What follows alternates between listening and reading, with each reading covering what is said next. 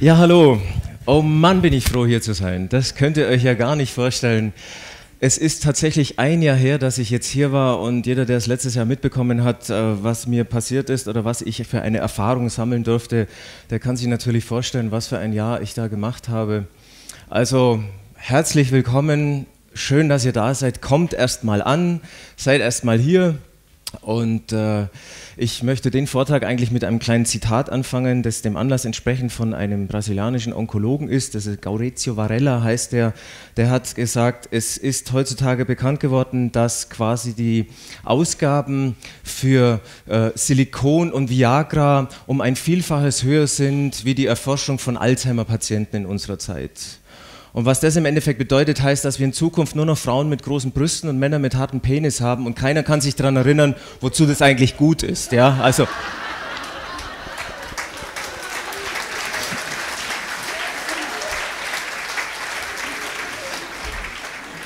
Und das hat mit dem Vortrag eigentlich überhaupt nichts zu tun, aber es war ein Tipp von einem meiner Lehrer.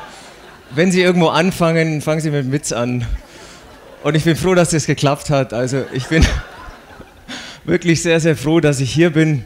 Und es, hat, äh, es ist wirklich sehr, sehr viel passiert und es geht mir auch sehr, sehr gut, bis auf eine bescheuerte Mittelohrentzündung, die mich gestern früh erwischt hat. Also ich hoffe, dass ich das alles schaffe. Hier steht der Tee, hier steht der Blutwurz.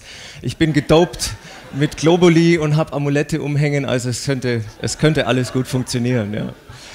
Und äh, ja, dieses Jahr ist wirklich sehr, sehr viel passiert. Ich möchte auf diese Seite hinweisen, die durch die großartige Unterstützung von Frank endlich entstanden ist. Also Steinzeit TV ist jetzt endlich online. Wir sind auch eine Medienplattform, die im Endeffekt alternative Informationen zur Verfügung stellt. Und genau jetzt, in diesem Moment, wird das neueste Interview freigeschaltet auf unserer Seite. Das könnt ihr euch eigentlich nachher gleich runterladen vom Oliver Janich das Interview, das wir vor kurzem gemacht haben, die Vereinigten Staaten von Europa. Das heißt, wir bringen jede Woche ein Interview raus. Wir produzieren da in Staffelweise ist natürlich ein Riesenaufwand, aber es macht unheimlich viel Spaß, vor allem das Feedback, was wir da bekommen, ist eine großartige Nummer und äh, was sich da sonst noch alles entwickelt hat. Also wir haben im Mai einen Testballon gemacht, so ein, so ein kleines Video, wer hat Angst vor Putin?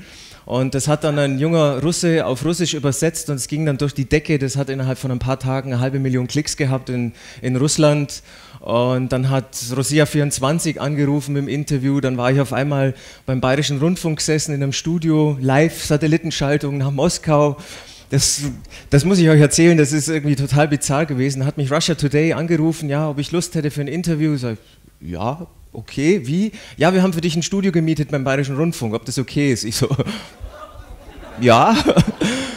Bin ich da reingefahren, mich hat die Redakteurin abgeholt an der Pforte, so, hallo, ja, ähm, ich, was sind Sie Journalist? Ich so, ja, ein bisschen, und um was geht's? und ich so, Weltpolitik, ach so, aha, aha, ja, ich weiß das nicht. Und dann, dann komme ich da in dieses kleine Studio rein, wirklich so ein Podest mit einem Stuhl, da haben nur noch die Handschellen und die Elektrode gefehlt, also es hat wirklich ausgeschaut wie es ein und dann müsst ihr euch das so vorstellen, ich hatte kein Bild aus Moskau, sondern nur einen Knopf im Ohr und eigentlich kein Bild. Und ich saß dann da live, 20 Uhr, und wusste, okay, das, was ich jetzt sage, sehen in Moskau ein paar Millionen Menschen oder in Russland. Und das war eine der bizarrsten Situationen, die ich jemals hatte in meinem Leben. Es hat ganz gut funktioniert, auch wenn ich denke, dass das irgendwie ziemlich, ziemlich bescheuert gelaufen ist. Aber nun denn, also das Jahr ist gut vergangen und ich werde natürlich nachher auch im Detail noch ein bisschen was erzählen über die Geschichte, die mir wirklich passiert ist, welches große gesundheitliche Projekt ich äh, haben durfte in dieser Richtung. Und äh, darum soll es aber nicht insgesamt gehen. Ich bin ja nicht es geht ja nicht um mich hier, sondern aber ich denke, das, was mir passiert ist, kann vielleicht auch dem einen oder anderen manchmal helfen oder vielleicht gibt es einen Blick auf das Große und Ganze. Und natürlich bin ich, wie ihr auch, immer mit froher Erwartung nach Regen gefahren, um zum einen natürlich Menschen zu treffen, die den gleichen Geist haben, Gleichgesinnte die sich gegenseitig vernetzen. Wir können also auch einen Pausenkongress machen, so wie es Andreas Popp mal vorgeschlagen hat, dass man irgendwann mal einen Pausenkongress macht, dass es gar keine Vorträge gibt, sondern eigentlich nur Pausen. Das wird natürlich irgendwie schwierig sein, aber wir müssen uns natürlich die Fragen stellen, was, was ist eigentlich hier los? Ja? Was passiert hier eigentlich? Das ist, die, das ist eine der Fragen, die ich mein Leben lang mir stelle, die ich schon immer äh, mir gestellt habe und äh, ich habe äh, zum Warmwerden ein paar so Kleinigkeiten gefunden, damit wir mal so ein bisschen reinrutschen in diese ganze Thematik. Gerade gestern Abend habe ich einen Vortrag gehalten über 9-11, auch ein ganz toller Treff in Nandelstadt, der sich da gegründet hatte.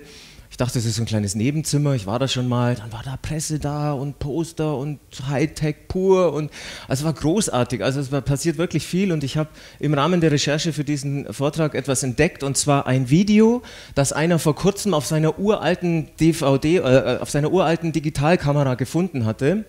Und dieses Video hat den, das Datum 11. Äh, September 2001, 5.19 Uhr. Und hier seht ihr das Gebäude Nummer 7 von der Rückseite. Es gab bisher immer nur eine Darstellung von dem, äh, was vorher passiert ist. Ich muss den Ton ein bisschen hochziehen. Bist du Ton da, Alex? Okay, jetzt hört es.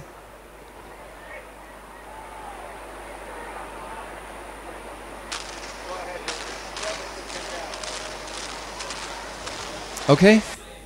Also die Frage, ob und wie das Gebäude zu Fall gekommen ist, also wie das runtergekommen ist, ist damit eindeutig erklärt. Es wurde einfach gesprengt. Ende der Durchsage. Ja? Da gibt es gar kein, nichts mehr zu reden drüber. Und äh, es ist 13 Jahre danach und es gibt immer noch so viele Menschen, die haben von Gebäude 7 noch nicht mal die geringste Ahnung. Gerade jetzt die ähm, Architects for Engineers in 9-11 Truth, diese, diese Architektenbewegung von Richard Gage, die haben am 11. September auf dem Times Square eine große Videoleinwand gemietet und haben da im Endeffekt eine Dauerschleife, ein Video laufen lassen, Rethink 9-11. Uh, did you know about World Trade Center 7? Und dabei ist rausgekommen, dass ein Großteil Amerikaner von Gebäude Nummer 7 noch nie etwas gehört hat. Ja, also es ist unglaublich. Und dann äh, etwas, was mir auch äh, sehr gut gefallen hat die letzten Tage, hat bestimmt jeder schon mal gehört von den Georgia Guidestones. Das ist dieses spooky Monument in, äh, in Georgia eben, das ist ja bekannt geworden durch diese ganz seltsamen Regeln für das Zeitalter der Vernunft, dass man also die Bevölkerung auf 500 Millionen Level halten sollte, was bedeutet, dass man erstmal 6,5 Milliarden abschaffen sollte und so weiter. Auf jeden Fall ist da vor ein paar Jahren hier oben an dieser Ecke von, dieser, von diesem Hauptstele ist ein Stein, also so eine Ecke rausgearbeitet worden. Hier sieht man es nochmal etwas genauer und äh, das hat niemand so richtig interessiert, bis in diesem Jahr plötzlich ein Stein eingearbeitet worden ist in dieses Monument. Man sieht es von dieser Seite noch mal etwas besser. Also auf der Seite ist die 20 und hier ist die 14 eingearbeitet. Und das hat natürlich gleich für viel Furore gesorgt, weil ja, oh, was soll das jetzt heißen? Ist jetzt 2014 das Jahr, wo das so richtig losgeht? Und äh, ich habe ein Video gefunden, wo Arbeiter der Stadt Alberta wo das stattfindet, im Endeffekt dieses äh, Steinchen da entfernt haben. Und man hat dann festgestellt, also, also auf den sechs Seiten von diesem Stein noch verschiedene andere Inschriften drin sind, also die 20 und die 14 oben. Und dann war einmal MM und JAM oder JAM und 16 und 8. Also an die Zahlenversierten unter euch, wenn ihr eine Lösung habt, könnt ihr mir gerne mal erzählen, was das ist. Auf jeden Fall haben die das dann im Endeffekt kaputt gemacht. Was es damit auf sich hat, das kann ich euch nicht sagen. Das weiß ich nicht. Ich wollte es euch nur mal mitgeben, diese Information. Übrigens, ich habe vor kurzem ein äh, Referat gehalten über einen Film äh, und da hat mich dieses Bild erinnert, nämlich das ist der Schlitz in einem dieser großen Steine, wo gerade zufällig im Hintergrund die Sonne durchscheint. Und in dem Film, den ich angeschaut habe, heißt der Tag, an dem die Erde stillstand, hat mich irgendwie direkt an diesen Roboter erinnert. Hat nichts mit dem Ganzen zu tun. Vielleicht für den einen oder anderen interessiert es. Auf jeden Fall hat ein Grafiker einen Lego-Bausatz entworfen, und zwar nicht Lego, sondern Let Go. Und die Figur, die da mitspielt, das ist auch Bend Over. Also wenn ihr die Worte umschreibt, Bend Over heißt sich überlehnen, also quasi aufgeben, mehr oder weniger. Also müsst ihr das D vorne hin machen. Und das ist so eine kleine lustige Geschichte, so nach dem Motto, what the fuck, 99, 93% must die das haben viele Leute auf dem Schirm, dass da etwas spooky damit abläuft. Also da gibt es einiges, was äh, die Leute aufweckt oder neugierig macht und äh, da geht es denen so wie uns, dass die halt einfach nach legitimen Fragen, dass die diese legitimate questions stellen. Ja? Und wir müssen uns viele Fragen stellen, zum Beispiel, wieso werden denn eigentlich Banken mit Billionen von Euros gerettet obwohl wir genau wissen, dass sie vorher betrogen und auch gelogen haben. Warum passiert das eigentlich? Wieso sollen wir jetzt plötzlich mehr Geld für Verteidigung ausgeben? Das mit der Bundeswehr die letzten Wochen, dass die so seltsamerweise nicht einsatzfähig ist. Wenn die mich gefragt hätten, hätte ich vor 20 Jahren schon erzählen können, dass die Bundeswehr nicht einsatzfähig ist. Jeder, der beim Bund ist, weiß, dass das nicht funktioniert. Ja, was passiert jetzt? Ja, man sagt, oh, die fliegen nicht, die Flugzeuge, die Hubschrauber sind kaputt und so weiter. Das war schon immer so. Aber jetzt wird es halt thematisiert, damit die Leute sagen, ja, und uh, wenn jetzt der Krieg kommt, können wir uns nicht verteidigen. Ja, was für ein Scheiß, ja? Oder wieso regt sich jeder auf, warum die Außenbeauftragte der Vereinigten Staaten in der Ukraine, Victoria Newland, in einem abgefangenen Telefonat Fuck the EU sagt? So nach Motto, was willst du mit den Europäern eigentlich? Aber kein Mensch fragt nach, was noch in diesem Interview gesagt wurde, nämlich, dass die Amerikaner insgesamt 5 Milliarden Dollar in die Ukraine gesteckt haben für Destabilisierungsmaßnahmen. Wieso stellt niemand diese Frage? Wieso stürzen wir uns nur auf dieses Zitat? Und warum ist in dem Bericht der UNO nichts drin von den Massengräbern aus der Ukraine, und zwar vom Osten der Ukraine, die von den Kiew-Truppen quasi kontrolliert worden sind? Warum nicht? Und wieso können die Amerikaner punktgenau syrische Ölraffinerien torpedieren und, und äh, bombardieren, aber sie sind nicht in der Lage, die Stellungen der ISIS zu bombardieren, obwohl die tagelang am gleichen, am gleichen Ort stecken? Wieso stellt die Zeit die Frage, schaffen das die Amerikaner? So ein Anbiederungscover hatten die vor kurzem in der Zeit drin, so nach dem Motto, wow, toll, die Amerikaner mit ihrem Military, die werden uns bestimmt retten, ja, mit ihrer NATO. Und dann die größte Frage, welcher Vollpfosten hat der NATO 586.865 Likes gegeben auf Facebook? Was, was, was wird da eigentlich geliked, wenn ich fragen darf? Das Logo die Kriegshetze gegen Russland, die coolen Uniformen, die Auftragsbeschaffung für die Rüstungsindustrie, der thermonukleare Weltkrieg, der Bündnisfall, was wird da geliked? Wer macht denn so einen Blödsinn? Und natürlich die Masterfrage an sich, wieso gibt es eigentlich Krieg? Das ist übrigens die größte Atombombenexplosion, die jemals gemacht wurde. Das war die Bombe Zar in Sibirien, irgendwann mal 56 Megatonnen Interessanterweise wussten die Forscher damals noch nicht, ob sie nicht zufällig die ganze Atmosphäre damit in Brand stecken. Die haben gedacht, no risk, no fun, lass es uns einfach mal ausprobieren. Das sind die Fragen, die wir uns eigentlich permanent stellen müssen und die ich mir auch permanent stelle im Endeffekt. Und es gibt Antworten auf diese Fragen, nur sind die halt im Endeffekt nicht immer so ganz einfach. Ähm, es gibt auch genügend Ansätze und Erklärungen für die Fragen, aber immer dann, wenn in der Öffentlichkeit solche Themen angesprochen werden, dann kommt schon ganz reflexartig die Reaktion, ach, das ist doch wieder so eine Verschwörungstheorie. Kennt ihr alle, ja? das habt ihr bestimmt auch im persönlichen Umfeld schon mal mitgekriegt. Ah, was, was ist eigentlich ein Verschwörungstheoretiker? Das ist ein abwertendes Etikett, das jemand angehängt wird, um ihn als geistesgestört darzustellen. Das ist eine Taktik, die von der heutigen Gedankenpolizei angewendet wird, wenn gefordert wird, halt du dich da raus. Ja? Dieser abschätzige Begriff soll alle die herabwürdigen, die der offiziellen Story mit Skepsis gegenüberstehen. Und deswegen sind die wirklichen, sind die eigentlichen Verschwörungstheoretiker keine Theoretiker, sondern sind Skeptiker. Sie sind skeptisch gegenüber dem, was ihnen die Regierung erzählt was die Pharmakonzerne erzählen, dass sie nur das Gute wollen für uns. Die sind skeptisch gegenüber der Lebensmittelindustrie, dass nur die guten Sachen in den Lebensmitteln drin sind. Menschen, die diese offizielle Stories eben mit Skepsis begegnen, äh, die, äh, Quatsch, diejenigen, die sagen, ja, das passt schon alles, die sind nicht nur ein bisschen einfältig, sondern die sind auch ein bisschen dumm, ganz ehrlich. Ja? Es gibt verschiedene Mechanismen, die äh, dafür sorgen, dass die Leute solche Informationen nicht annehmen. Ich habe mit dem Oliver Janich in dem Interview lange über das geredet. Der hat da in seinem Buch Die Vereinigten Staaten von Europa einen langen Passus drin. Da geht es um kognitive Dissonanz, um Angst vor sozialer Isolation und so weiter. Aber es ist auch ein Zeichen von mentaler Retardierung. Ganz einfach, wenn man sich diesen Fakten nicht stellen möchte. Und Skeptiker, die haben sich im Endeffekt herausgestellt, als dass das im Endeffekt ein Zeichen von höherer Intelligenz und Weisheit ist auch. Ja? Ich will euch jetzt nicht hier lobhudeln und den Teppich ausrollen, aber ihr seid die Elite im Endeffekt. Ja? Nicht nur, dass ihr euch auf den Weg gemacht habt hier mitten nach hinter Arschbakenwalde und äh,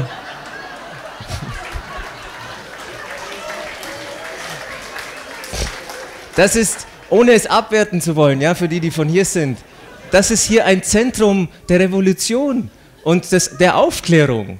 Das ist wichtig, dass wir da hingehen, ja? Und es hat sich ja eben oft herausgestellt, dass die Skeptiker im Endeffekt von der Geschichte belohnt worden sind, weil sich ja so wie bei dem Irak 2003 herausgestellt hat, das waren alles Lügen. Also eigentlich müsste es heißen, nicht Verschwörungstheoretiker, sondern Verschwörungsanalyst. Conspiracy Analyst. Ja? Wir analysieren historische und politische Hintergrundfakten. Also nichts mit Verschwörungstheorien.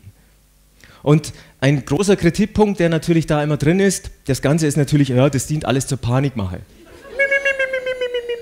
Kennt ihr ja alle, ne? Beaker habt ihr alle noch von der Muppet Show in Erinnerung, ja? Und äh, dass Verschwörungstheorien deswegen äh, äh, die Leute verängstigen und dass Angst kontraproduktiv ist. Ich bin da vollkommen anderer Meinung.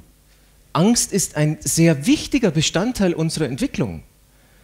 Zum Beispiel, wenn ihr euch irgendwo im Dschungel verlaufen habt und ihr seht, wie eine Gruppe von Hyänen gerade ein anderes Tier zerfleischt.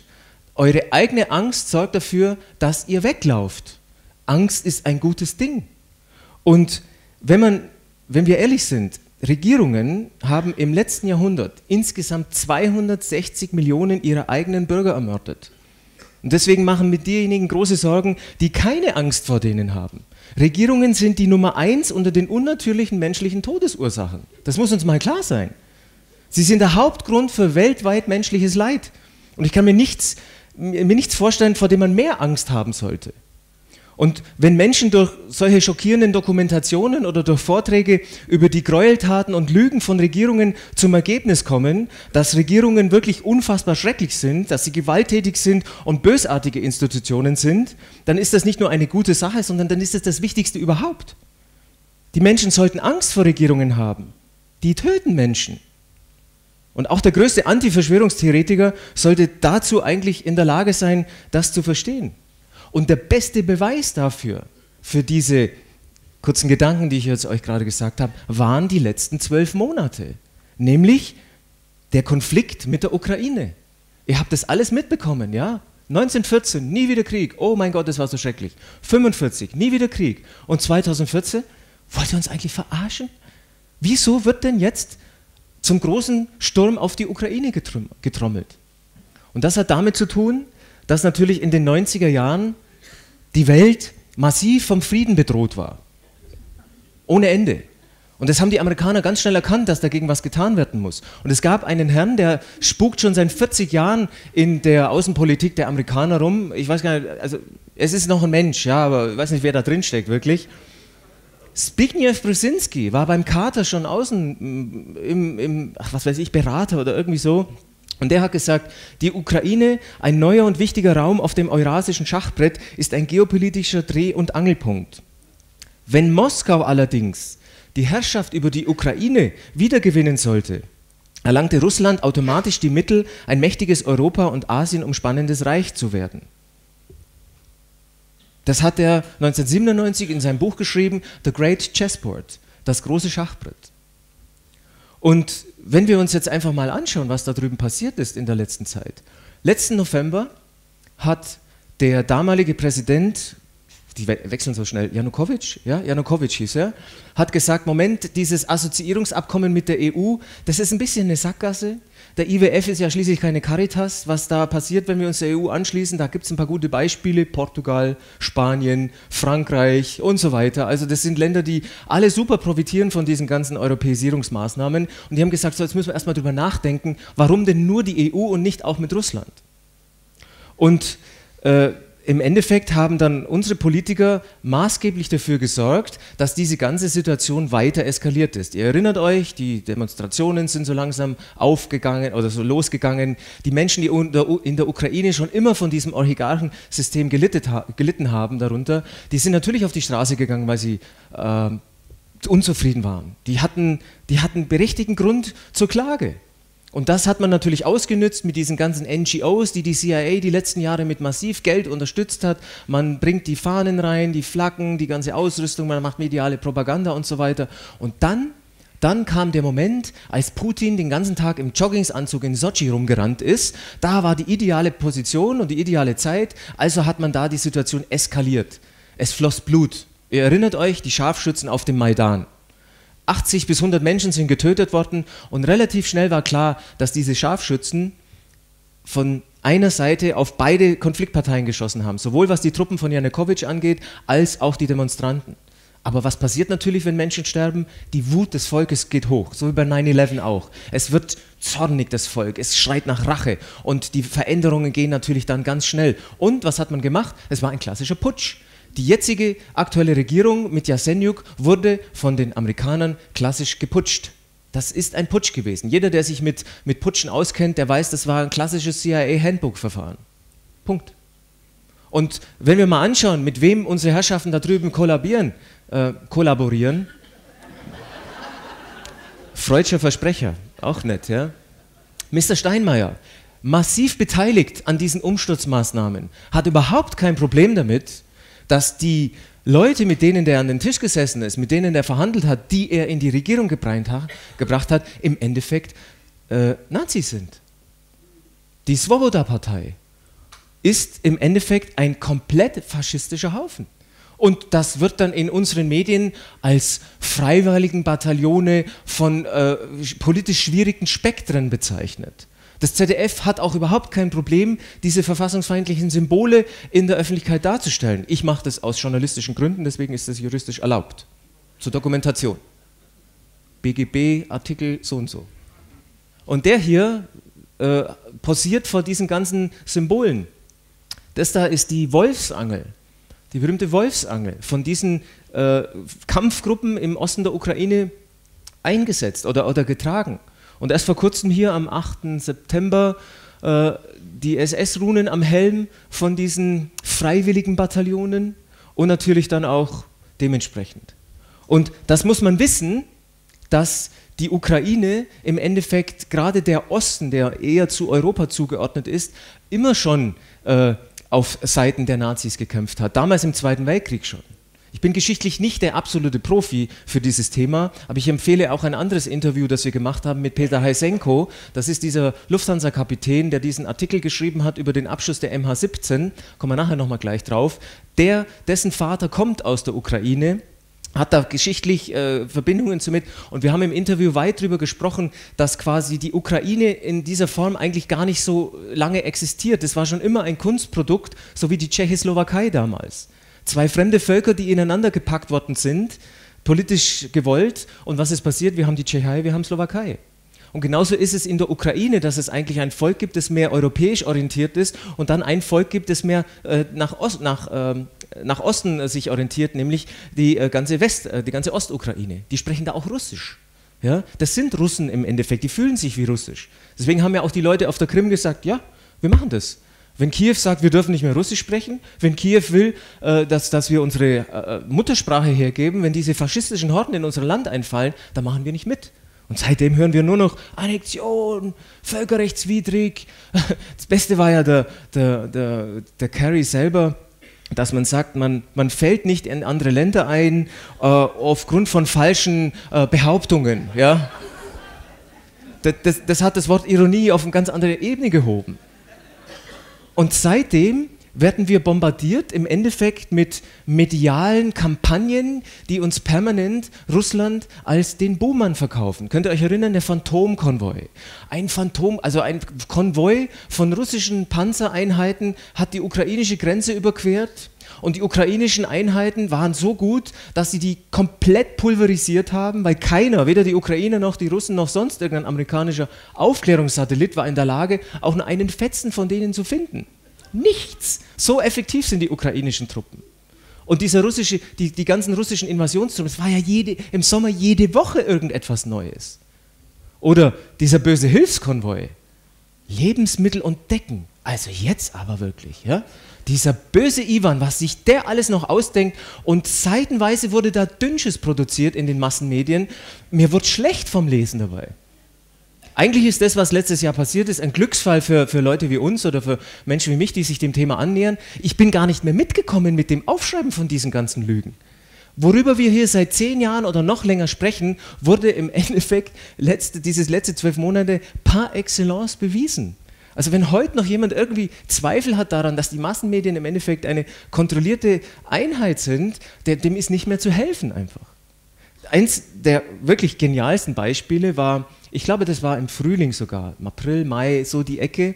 Es ging darum, dass, ähm, na, ich lasse die Frau Mioska erstmal selber zu Wort kommen. 23 Millionen Euro, neues Studio. Heute Geil. Studio Karen Mioska. Guten Abend, meine Damen und Herren. Wenn wir zuletzt aus der Ostukraine berichtet haben, dann standen meist die im Fokus, die sich vermummt und schwer bewaffnet abspalten wollen von Kiew. Heute wurde eindrucksvoll deutlich, das muss nicht die Meinung der Mehrheit sein. Unsere Tagesthemen. Tausende Menschen in der Ostukraine folgen dem Aufruf des Milliardärs Achmetow und protestieren gegen die Separatisten auch mit einem Autokorso. Heute passierte in der Ostukraine etwas Überraschendes, zumindest etwas Unerwartetes. Diese Leute im Stadion von Schachtor Donetsk, die schwenkten ihre Fahne nicht für ihren Fußballverein, sondern für eine vereinte Ukraine. Dominierten bisher die Bilder der schwarz vermummten Separatisten mit der Kalaschnikow im Anschlag, so waren heute Zehntausende Menschen zusammengekommen, um gegen diese prorussischen Milizen zu demonstrieren, nachdem dieser Mann die Massen zusammengetrommelt hatte. Der milliardenschwere Oligarch Rinat Achmetow, der größte Arbeitgeber im Osten des Landes, rief all seine Angestellten heute zu friedlichen Protesten gegen die Separatisten auf und er vermochte damit etwas, woran kaum einer mehr so recht zu glauben gewagt hatte. Massenhaft erhoben Männer und Frauen, die bisher geschwiegen hatten, heute ihre Stimme gegen die Spaltung ihres Landes. Udo Lilischkis. Ein Autokonvoi, lautes Hupen in Donetsk heute Mittag, friedlicher Protest gegen die prorussischen Separatisten und ihre bewaffneten Anhänger.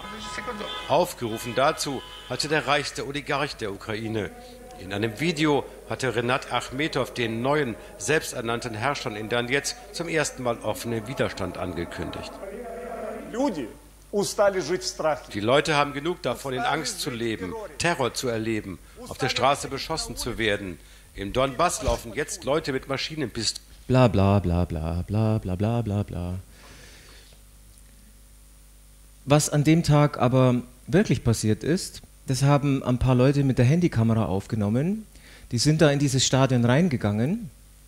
Und was man dann gesehen hat, diese Zehntausenden von Demonstranten, die da drin waren, das waren in Wirklichkeit ungefähr 300, 350 Leute, die in einem einzigen Block von diesem Stadion gesessen hatten. Da waren fast mehr Kameraleute da wie, äh, wie, wie Demonstranten.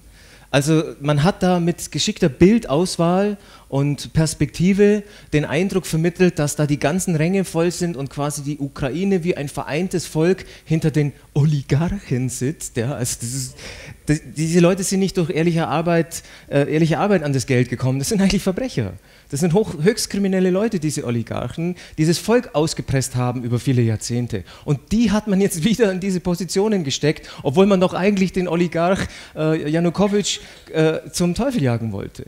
Und das frage ich mich jetzt, wie kann denn das sein, dass hochintellektuelle Journalisten von der ARD, die alle studiert haben, Magna cum laude, summa cum laude, was weiß ich, wer in dieses Studio von der ARD seine Füße stellen will, der muss die besten Noten haben und wahrscheinlich den am meisten verbogenen moralischen Kompass.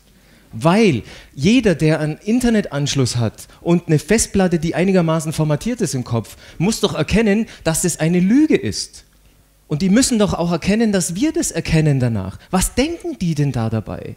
Halten die uns für blöd? Halten die uns für zu dumm, dass wir das nicht kapieren? Oder ist es denen einfach egal? Oder, was noch viel wahrscheinlicher ist, die haben die blanke Panik. Die stehen mit dem Rücken an der Wand und versuchen uns mit solchen, simpl, mit solchen grotesken Lügen und Manipulationen äh, in die richtige Richtung zu drängen. Um dann aber von den wirklich, wirklich schwierigen Dingen und katastrophalen Dingen in Osten der Ukraine abzulenken. Und auch wenn das kein schönes Thema ist, wir müssen darüber sprechen, dass im Osten der Ukraine ein Genozid stattfindet. Von faschistischen, mordenden Horden, die über die Bevölkerung in der Ukraine, im Osten der Ukraine herfallen, weil die sich geistig mehr nach Russland sehnen. Dieser uralte, generationenlange Hass auf den Osten der Ukraine von diesen Faschisten entlädt sich jetzt in diesen ganzen Aktionen. Und davon dürfen wir nichts erfahren. Deswegen heißt es auch nicht ostukrainische Bürgerwehr, sondern prorussische Separatisten und Terroristen.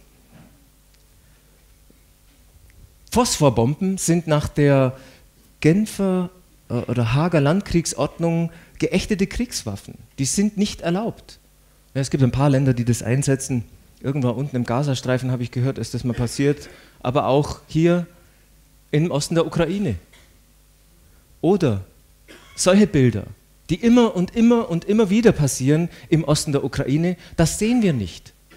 Oder ich möchte daran erinnern, an den 2. Mai in Odessa, da gab es eine friedliche Kundgebung von ostukrainischen Bürgern an einem Zeltlager, 1500, äh Quatsch, so ein paar hundert Menschen, ältere Menschen, Familien, ganz normale Leute und ein Fußballspiel, das an diesem Tag äh, stattgefunden hat. Äh, sehr viele Hooligans, sehr viele brutale Leute, da ist eine sehr gewalttätige Hooligan-Szene in der Ukraine. Die wurden von, von bezahlten Agitatoren äh, quasi zu diesem Gewerkschaftshaus geführt, um so richtig auf diese äh, Demonstranten einzuknüppeln. Also die haben richtig Jagd gemacht auf die mit Baseballschlägern und anderen Waffen.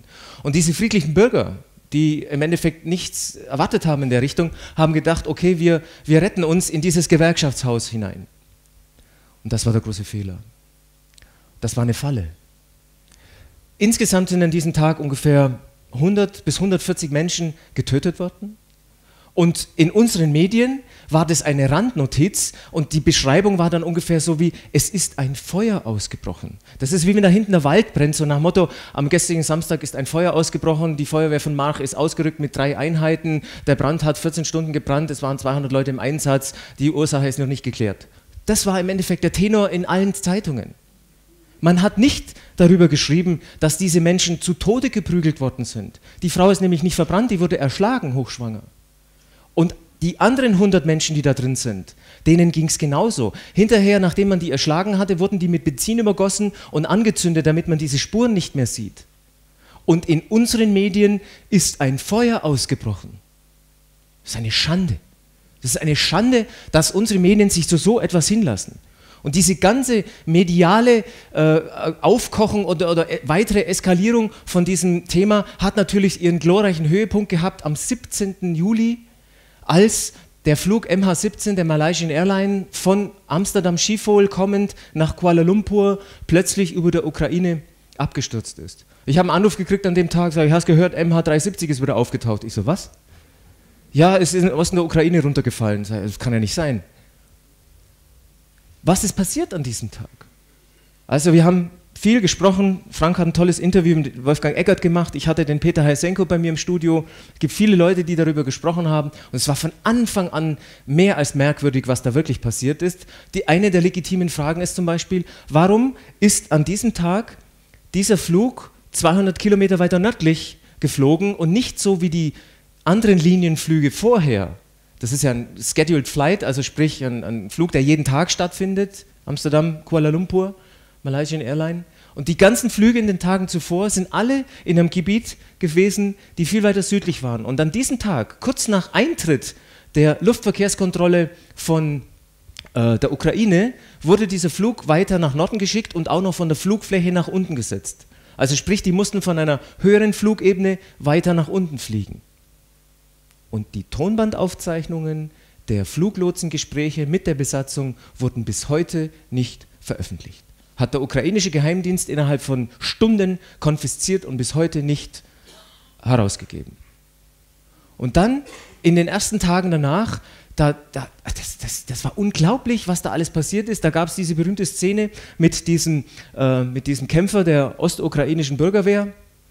Der hat den anwesenden Journalisten etwas zeigen wollen, nämlich so mal, guck mal her, was diese Verbrecher gemacht haben. Ja. Und in der Bildzeitung war die große Schlagzeile, Rebellen verhöhnen die Opfer. Die Gringe werden geklaut, Looting, the victims und der holländische äh, Außenminister oder Ministerpräsident, irgendein hochrangiger holländischer Politiker war in der UNO gesessen und hat darüber noch gesprochen, was da für Sachen kommen. Also man hat wieder mit Emotionen äh, Stimmung gemacht, Meinung gemacht und äh, dieses Bild, was, da, was man wirklich gesehen hat, der Mann hat es gezeigt, dieses Stofftierchen hat es den Leuten gezeigt und haben gesagt, seht ihr, was die gemacht haben? Die haben Kinder umgebracht, diese Verbrecher. Und wir wollen, dass die ganze Welt sieht, was diese Verbrecher gemacht haben. Dann hat er den Teddybär hingelegt oder den Affen oder was das ist und hat die Mütze abgenommen und hat sich bekreuzigt und war sichtlich emotional gerührt. Das wurde übrigens in ZDF Die Anstalt vor kurzem auch thematisiert. Ja? Äh, Christian von Wagner und Max Uthoff, wie sie es gemacht haben, ja, mit dieser Persiflage auf das Ganze. Müsst ihr euch unbedingt anschauen. Ja? So nach dem Motto, ja gut, in diesem Fall reicht uns dann das Standbild. So nach dem Motto, ja. Brauchen wir kein Video dazu. Und wenn wir uns die forensischen Fakten von diesem Flug einmal etwas genauer anschauen, dann stellen wir nämlich fest, dass die These von diesem Abschuss mit einer Boden-Luftrakete seitens der ostukrainischen Bürgerwehr so nicht sein kann. Und das ist eben äh, von verschiedenen Experten auch entdeckt worden. Das ist ein Segment des Cockpits von dem Flugzeug, und zwar von der linken Seite, wo der Kapitän sitzt. Und es gibt Fotos mit viel größeren Auflösungen, mit viel besserer Darstellung, wo man sehen kann, dass nicht kleinste Teile, kleine Metallsplitter, die bei der Explosion von seiner Boden-Luft-Rakete äh, äh, entstehen, sondern dass es wirklich kreisrunde Einschusslöcher gibt, wo das Metall nach innen gebogen ist. Und noch erstaunlicher ist, dass es das auf beiden, also dass quasi Einschuss- und Austrittslöcher zu erkennen sind. Man hat wirklich sehr viele Spuren gefunden, dass ein Militärflugzeug dieses Flugzeug absichtlich vom Himmel geholt hat. In Kombination mit anderen Gegebenheiten, Luft-Luft-Raketen und so weiter. Wolfgang Eckert, Frank Höfer, drei Stunden Interview, Hausaufgabe. Unbedingt, ja, ganz wichtig, ja. Und ja, was ist passiert? Also die Teile waren noch gar nicht ganz ausgeglüht. Wie beim 11. September war dann schon Osama bin Laden und seine 19 Räuber die, der, der Schuldige. So war es auch Putin. Man hat hier eine Auswahl der internationalen Titelfotos von dem, was da passiert ist. Die Schuldzuweisung war eindeutig. Russland mithilfe der prorussischen Rebellen und Terroristen hat den Flug MH17 vom Himmel geholt. Niemand hat die Frage gestellt, warum haben die das gemacht? Weil der Einzige, der wirklich von so einem Unglück profitieren würde, wären diese Faschisten in Kiew und nicht Russland. Warum sollte Russland das machen? Die Russen waren natürlich ganz cool und haben da ganz, äh, ganz langsam agiert, so nach dem Motto, ihr spielt Monopoly, wir spielen Schach. Ja? Hier eins meiner Lieblingsfotos, eine bitterböse Karikatur in der London Times, Putin mit seiner neuesten Trophäe. Und das macht natürlich Stimmung. Das ist natürlich etwas, was die Leute dann quasi, wie soll ich sagen, äh, da, ja, Putin ist, ist der Böse. Putin ist der Böse. Ich habe interessanterweise vor kurzem zwei Ukrainerinnen getroffen. Die eine kommt aus dem Osten und die andere aus dem Westen. Und beide wirklich komplett konträre Meinungen, ja. Je nachdem, in welchem politischen Spektrum man sich einfach befindet. Und unsere Knalltüten, unsere Politiker, wie diese Knalltüte Rasmussen, diese, dieser emotionale Sprengstoff, hat nichts anderes zu tun, wie permanent neue Truppen zu fordern, NATO-Manöver im Osten von Europa zu organisieren und ständig auf die Kriegstrommel zu drücken. Kann das irgendjemand erklären, warum das passiert? Warum ein vernünftig denkender Mensch so etwas machen sollte? Es gab eine tolle Talkrunde bei Illner, Maybrit Illner, da hat David Precht, wie heißt er noch? David Dingsbums Precht? Richard David Precht, gell, so heißt er, glaube ich, ja. Der hat Folgendes gesagt jetzigen Reaktion des Westens, da wird von dem neuen Feind gesprochen. Es wird davon gesprochen, Herr Precht, dass wir wieder zurückgekehrt sind in eine Zeit der Abschreckung. Ähm, wie sieht Ihre Einschätzung aus? Also die rhetorische Mobilmachung, die wir von der NATO erfahren haben, in Form dieser Knalltüte von Anders vor Rasmussen. Sie dürfen das nicht sagen als Parlamentspräsident, aber ich denke, wir sind uns einig. Das ja, dass wir dass diese rhetorische Aufrüstung, die ja, da erfolgt ist, ist natürlich gefährlich, weil rhetorische Brandstifterei häufig der Anfang zu umfassenderer Brandstifterei ist. Das Gleiche gilt für Teile der Medien. Das gilt für den Spiegel, der Stopp Putin jetzt titelt, nach dem Abschuss dieses Flugzeuges, von dem wir bis heute nicht wissen, wer es abgeschossen hat und es merkwürdig ruhig drum geworden ist. Mhm. Auf dieser Grundlage haben wir dann angefangen mit Wirtschaftssanktionen. Ja, nach dem Abschuss eines Flugzeuges, von dem wir nicht wissen, wer es ist. Wirtschaftssanktionen haben nach der Krim begonnen. Nee, die haben richtig, nein, wirklich nein. gegriffen, dass man meinte, dass man richtig was machen muss nach dem Flugzeugabsturz, Herr Schulz. Mhm. Also, die Wirtschaftssanktionen würde ich auch gerne kommentieren. Natürlich wäre das schön, wenn man mit Hilfe der Wirtschaftssanktionen ein erfolgreiches Druckmittel hätte. Ich bin aber wesentlich skeptischer als Sie. Seit 50 Jahren gibt es eine Wirtschaftsblockade von Kuba, eine kleine Zuckerinsel. Und da sind die Castros immer noch an der Macht. Ein russischer Präsident, der aufgrund von Wirtschaftssanktionen nachgeben würde, wäre nicht mehr lange russischer Präsident. Was das wird Sie tun? nichts anderes machen, als den Trotz der Russen enorm zu forcieren. Und deswegen glaube ich, ich würde mir ja wünschen, es würde klappen. Wir haben Wirtschaftssanktionen gegen den Iran. Wir haben das Mullah-Regime dadurch nicht in die Knie gezwungen. Wir hatten Wirtschaftssanktionen gegen Saddam Hussein, haben auch nichts genützt. Ich glaube nicht entfernt, dass diese Wirtschaftssanktionen mehr sind als Folklore. Was Aber mit sollte Wirtschafts- mit Wirtschaftssanktionen, da bin ich, Ja, schlauer Mensch. Richard David Precht. Man sollte seine Bücher lesen. Ein, einer, der sich getraut hat, öffentlich darüber zu sprechen, wie im Endeffekt im Krieg die Sprache voranmarschiert. Und es gibt Menschen, die, die nehmen diese ganzen Vokabularien in, in unsere Medien, um uns damit in eine politische Richtung zu drängen. Und es gibt Leute, die sagen Schergen. Ja? Es gab eine Nachrichtensendung, der hat wirklich Schergen gesagt in der ARD. Putins Schergen natürlich. Was sonst? Und das erste Opfer im Krieg, so schreibt die Zeit, sei immer die Wahrheit. Aber das stimmt gar nicht. Nicht die Wahrheit ist das erste Opfer, sondern das erste Opfer im Krieg ist immer der gesunde Menschenverstand. Wehen die Fahnen, begibt sich der gesunde Menschenverstand, begibt sich der Verstand in die Trompete. Tolles Zitat. Und Sprache wird in einem Maße zur Waffe, dass sie bald nur noch als Karikatur erkennbar ist. Die Leitmedien verbiegen sie, um die Öffentlichkeit von ihrer Sicht der Dinge zu überzeugen.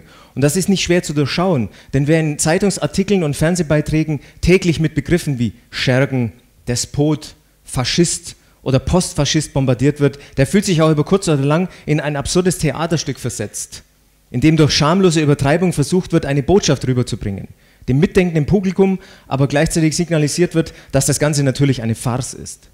Und je ernster die Sprecher klingen und je häufiger die Kommentatoren von Schlechtern und Massakern und Völkermord und puren Faschismus schwärmen, desto unwirklicher wird die Szenerie. Begriffe werden übernommen, ohne ihren wirklichen Sinn zu hinterfragen. Hauptsache ein Superlativ, Hauptsache das größte Kaliber. Wumms. Ja, das sind unsere Massenmedien. Und wenn wir aber ein bisschen so rumschauen in unserer Landschaft, dann scheint sich so ein bisschen was zu tun. Nehmen wir doch mal die letzten Wahlen, die wir hatten. Das vorläufige amtliche Ämtergebnis der Landtagswahl in Sachsen 2014. Oh, AfD, wow, jetzt sind sie alle panisch wegen der AfD. Aber wenn man das jetzt mal bereinigt nimmt, und zwar um die Nichtwähler bereinigt nimmt, dann ist die Gruppe der Nichtwähler eigentlich die stärkste Fraktion in diesem Land. So sieht eine Wahl wirklich aus. Oder wenn wir die letzten Wahlen anschauen, das war jetzt gerade im, ich glaube, August, September. Ich hab, das war vor kurzem erst, wisst ihr ja noch, ja? Und wenn wir hier die Zahlen mal genau anschauen, Landtagswahl in Thüringen, 47 Prozent die Partei der Nichtwähler. Bräuchte man keine Koalition machen. Könnte man sofort regieren. Oder eben auch die Landtagswahl in Brandenburg, 50 Prozent alles. Warum ist denn das so? Naja, weil die Menschen einfach die Schnauze voll haben von diesen Politkaspern, die uns permanent davon erzählen sollen, dass es eine tolle Sache ist, dass wir in den Krieg fahren. Dieser Mensch, der erst dann in den politischen Widerstand in der DDR gegangen ist, als es nichts mehr zu verlieren gab, der erzählt uns jetzt auf der Münchner Sicherheitskonferenz, eine Lobbyveranstaltung von Rüstungsunternehmen, dass es wichtig ist, dass man Flagge zeigen muss. Man muss zur Seite stehen. Es kann auch mal Opfer geben. Ja, ja. Senil im Alter. Ja. Wie hat einer geschrieben? Äh, der senile, der, der sedierte Opa aus Bellevue, genau, ja. Warum hat der Mann eigentlich stundenlang seine Stasi-Akte einsehen dürfen ohne Aufsicht? Als äh, Oberbeauftragter der, der GAUK-Stasi-Behörde. Es war sogar nach ihm benannt. Fragen über Fragen. Aber es gibt manchmal kleine Lichtblicke von Menschen, die auch in diesem System sind, die sich trauen, dagegen etwas zu sagen. Und eine davon ist eine Frau, die mir sehr imponiert hat, eine Abgeordnete der Linken, die in einer der Diskussionen um diese ganze Kriegshysterie und so weiter es gewagt hat, die grünen Abgeordnete Göring Eckardt zu kritisieren. Ihr Name Sevin Dagdelem. Kollegin Göring-Eckardt, Ihre Rede erinnerte mich jetzt gerade an den großen Denker und Dichter Bertolt Brecht, der einmal treffend formuliert hatte, wer die Wahrheit nicht weiß, der ist bloß ein Dummkopf. Aber wer die Wahrheit kennt und sie eine Lüge nennt, der ist ein Verbrecher. Und es entsetzt mich, ich bin wirklich schockiert darüber, dass Sie hier dass Sie hier die Behauptung aufstellen, dass mit den geringen Ergebnissen für die Kandidaten der Svoboda oder des rechten Sektors das Problem des Neofaschismus, das Problem des Antisemitismus in der Ukraine sich erledigt hätte. Und Sie wissen ganz klar, dass das nicht stimmt. Es gibt drei Minister in der Regierung in Kiew, der Ukraine, die ganz klar Mitglied der neofaschistischen Partei Svoboda sind. Es gibt einen Minister, der Svoboda nah ist. Und es gibt einen Minister, der von Una UNSO, einer neofaschistischen Organisation, kommt. Das heißt, eigentlich sind es fünf Minister, die in dieser Regierung sind. Und der rechte Sektor kontrolliert weiterhin den ukrainischen Sicherheitsapparat. Und sie vergessen zu sprechen davon, dass der Kandidat der extrem rechten Partei, genannt Radikale Partei, Oleg Jaschko, über 8 Prozent, 1,5 Millionen, über 1,5 Millionen Stimmen bei dieser sogenannten Wahl bekommen hat. Und dann sprechen Sie von diesen Wahlen, dann sprechen Sie von diesen Wahlen, ohne darauf auch mal einmal hinzuweisen, was das für Wahlen unter Kriegsumständen gewesen sind. Kandidatinnen und Kandidaten zum Beispiel von Boratba oder der KP in der Ukraine oder viele andere haben ihre Kandidaturen zurückgezogen, weil sie von diesen Faschisten bedroht worden sind. Oder der Kandidat der Partei der Regionen, der während seiner Kandidatur unter Hausarrest gestellt worden ist. Wie kann man da eigentlich von freien, fairen Wahlen sprechen, frage ich Sie. Und ich bin wirklich entsetzt darüber, wie hier die Faschisten, die Antisemiten verharmlost werden und bin entsetzt über diesen Tabubruch dieser deutschen Außenpolitik, die von Ihnen, Frau Kollegin, mitgetragen wird. Das ist wirklich schändlich. Jawohl. Und Frau Göring-Eckardt ist danach aufgestanden liebe, liebe und hat gesagt, Frau Göring-Eckardt hat das Wort zu. Sie meinen wohl mich? Ja? Also ähm, die Grünen, die auch schon länger in Olivgrün unterwegs sind, ja, die sich von einer Friedenspartei zu einer der Kriegsparteien entwickelt haben. Unter Joschka Fischer übrigens den ersten Angriffskrieg nach dem Zweiten Weltkrieg im damaligen Jugoslawien. Gibt es ja auch irgendwo ein Buch über die Lügen von dem Ganzen. Ja, die, die hat ein bisschen bei der Wagenknecht abgeschaut, habt ihr das gesehen? Die macht auch immer so diesen hier. Das ist ein kleiner Lichtblick und dieser kleine Lichtblick, der setzt sich auch fort seit vielen Monaten schon. Seit Anfang des Jahres gibt es bundesweit, eigentlich auch im ganzen deutschsprachigen Raum, Deutschland, Österreich, Schweiz, mittlerweile über 100 Städte, die sogenannte Mahnwachen organisieren. Mahnwachen sind im Endeffekt Menschen, die auf die Straße gehen, die protestieren, die ihren Unmut kundtun. Und das ist eine sehr, sehr große Bewegung, die natürlich auch anhand fehlender finanzieller Ressourcen immer noch so graswurzelmäßig ist. Also wenn da mal irgendein ein Gönner ein paar Millionen reinstecken würde, wäre ich sehr dankbar, wenn sie den Veranstaltern ein bisschen was überweisen können, weil die machen das im Endeffekt alles aus mit Herzblut, mit ehrenamtlichem Engagement und äh, ohne dafür irgendwas zu kriegen, bundesweit. Und da artikuliert sich unser Uh, unser Unmut im Endeffekt über die Massenmedien. Und was tun die Massenmedien im Endeffekt? Sie versuchen alles, um diese Bürgerbewegung, um diese gerechtfertigte Bürgerbewegung in eine Ecke zu schieben. Es gibt ein fantastisches Interview von einer Frau, deren Namen ich jetzt verdrängt habe, bei Dreisat Kulturzeit. Könnt ihr euch erinnern? Wie hieß die nochmal?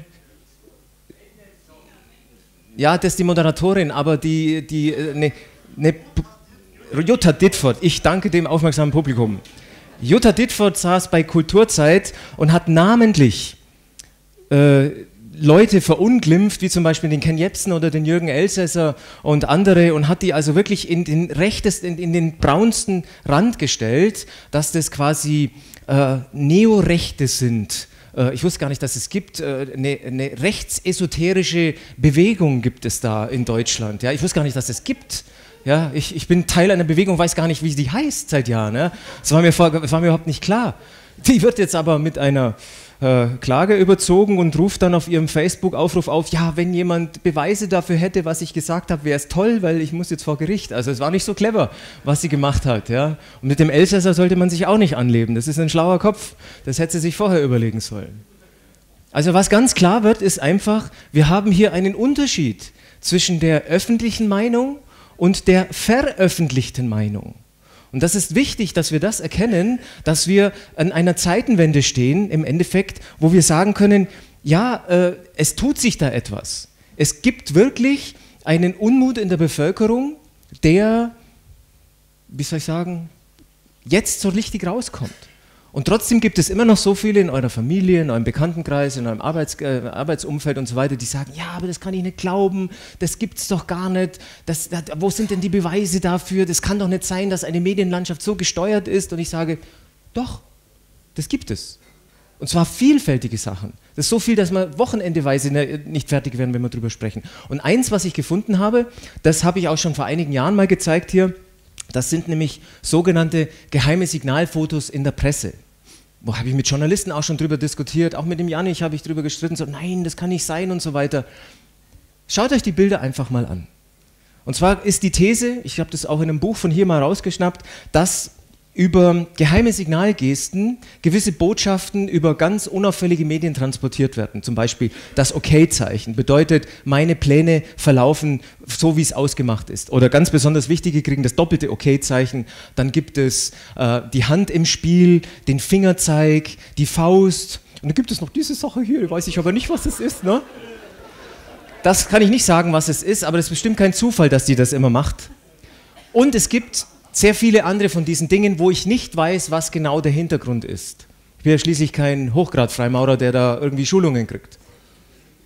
Aber es gibt ein Zeichen und das hat eine ganz genaue Botschaft. Das ist ein ganz genau definiertes Signal und zwar ist das die Hand am Hals oder an der Krawatte. Das bedeutet, ich, der Freimaurer, Logenbruder oder sonstige Eingeweihte, befinde mich in einer akuten Notsituation. Bitte, liebe Brüder und sonstige Wissende, helft mir von eurer Position aus so gut ihr könnt. Das ist eine Botschaft an die Staatsanwälte, an die Chefredakteure, an die Leitartikler, an die Kommentatoren, an die Moderatoren und an alle diejenigen, die die öffentliche Meinung mehr oder weniger beeinflussen. Und es gibt, ich habe eine Reihe von Beispielen rausgeholt. Zum Beispiel Mr. Wenning der war mal Chef des Konzerns Bayer, kennt ihr ja, äh, Pharmakonzern. Da gab es vor einigen Jahren einen großen Skandal in Amerika mit dem Medikament Lipobay. Lipobay war ein Herzmedikament, wo über 100, äh, 100 Menschen sind deswegen gestorben. Und es gab eine riesen Kampagne, der Aktienkurs rutscht ab und so weiter. Nachdem dieses Foto veröffentlicht worden ist, habe ich dieses Thema nie wieder gesehen. Oder Mr. Bunga Bunga, Silvio Berlusconi.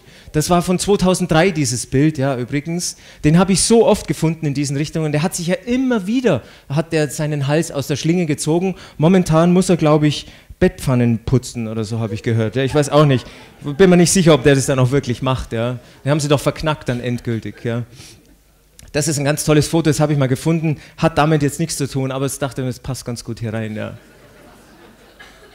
Mr. Kenneth Lay war Chef, CEO des, oder Chairman des äh, amerikanischen Energieriesen Enron.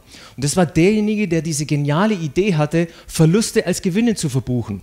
Das war ein fantastisches Geschäftsmodell in Amerika. Das haben viele kopiert, bis es endlich aufgefallen ist. Er ist dann aber doch irgendwann aufgeflogen. Er kam dann auch ins Gefängnis, aber äh, dieses Foto wurde eben auch veröffentlicht von ihm, um den ganzen Skandal nicht weiter hochzukochen. Und dann noch einen Menschen, der meines Erachtens auch Hochachtung verdient, weil was er in dem letzten Jahr erzählt hat im Bundestag, verdient auch Hut ab, Chapeau, ja. Aber er kam immer wieder mal unter Stasi-Verdacht und dann wurde dieses Bild veröffentlicht, disappeared.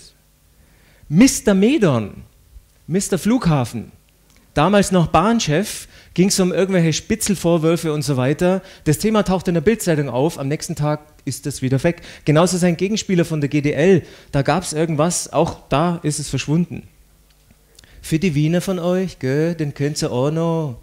Der Gusenbauer, ich weiß nicht mehr, um was es damals ging. Auf jeden Fall, immer wenn dieses Zeichen irgendwo auftaucht, so wie hier zum Beispiel, als Peter Harz in Brasilien Firmengelder in einem Bordell versenkt hat, oder anderswo, ähm, da war das Thema dann wieder uninteressant. Interessant ist hier zum Beispiel diese zwei Masken, die im Hintergrund sind. Ja? Ich weiß nicht, was das ist, aber gerade in der Ritualsymbolik, in diesen ganzen sinistren Logengeschichten und Tempelritualen tauchen Masken immer irgendwo auf. Also wer da eine Idee hat, kann es mir gerne mailen oder mal zustecken, die Info. Im Jahr 2007 ja, ist der ehemalige Ministerpräsident von Israel unter massiven Korruptionsverdacht gekommen. Er konnte sich dann noch ein Jahr lang im Sattel halten, aber ein Jahr später, als er dann hingeworfen hatte, kam dieses Foto und das bedeutet, okay, der ist jetzt weg, aber macht da keine große Sache draus. Ja, bitte keine bösen Leitartikel, nicht hinterhertreten, lasst das Thema einfach im Nachrichtenticker versanden. Oder wie zum Beispiel Mister, ich versenke mal drei Milliarden Steuergelder in Österreich der kam am gleichen Tag zweimal in den deutschen Medien. Einmal auf der Bildzeitung und einmal auf der Süddeutschen. Eigentlich müsste der den Rest seines Lebens Bettpfannen putzen oder Steine klopfen. Drei Milliarden. Teilt diese Summe mal geteilt durch Kindergärten, Bibliotheken und Krankenhäuser, was da für eine Zahl rauskommt. Ja? Oder Mr.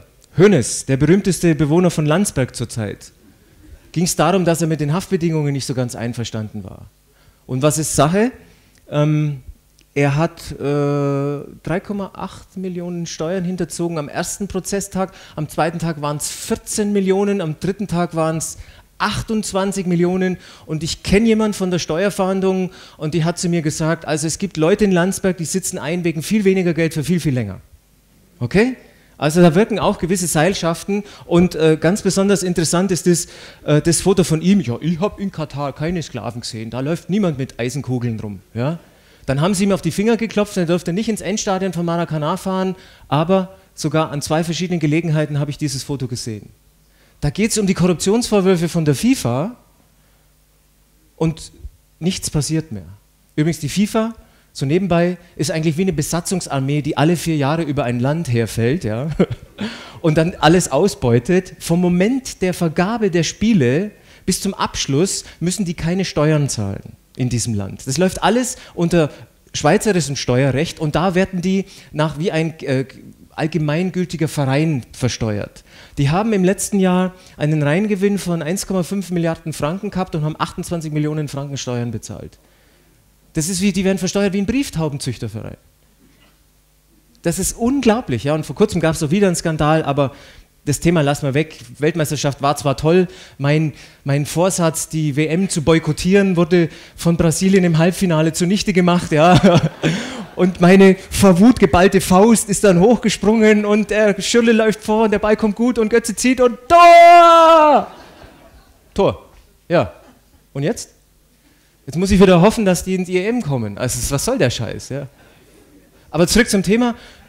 Ähm, es gab doch einen Herrn, der vor kurzem per SMS so eine kleine Überweisung gemacht hat, nachdem er mit dem Gericht einen Deal vereinbart hatte, 100 Millionen aus der Portokasse, dann ist der Korruptionsvorwurf weg. Und ich habe keine großen Schlagzeilen gelesen und das war das Einzige, was ich gefunden habe. Ich glaube, das war im Fokus oder im Stern. Und interessanterweise, hier steht unten etwas dran. Und zwar, dass sich der Formel-1-Chef nicht mit vielen Millionen freikaufen darf, meinen 75 Prozent. So, und jetzt Farbenlehre. Was ist grün? Freie Fahrt.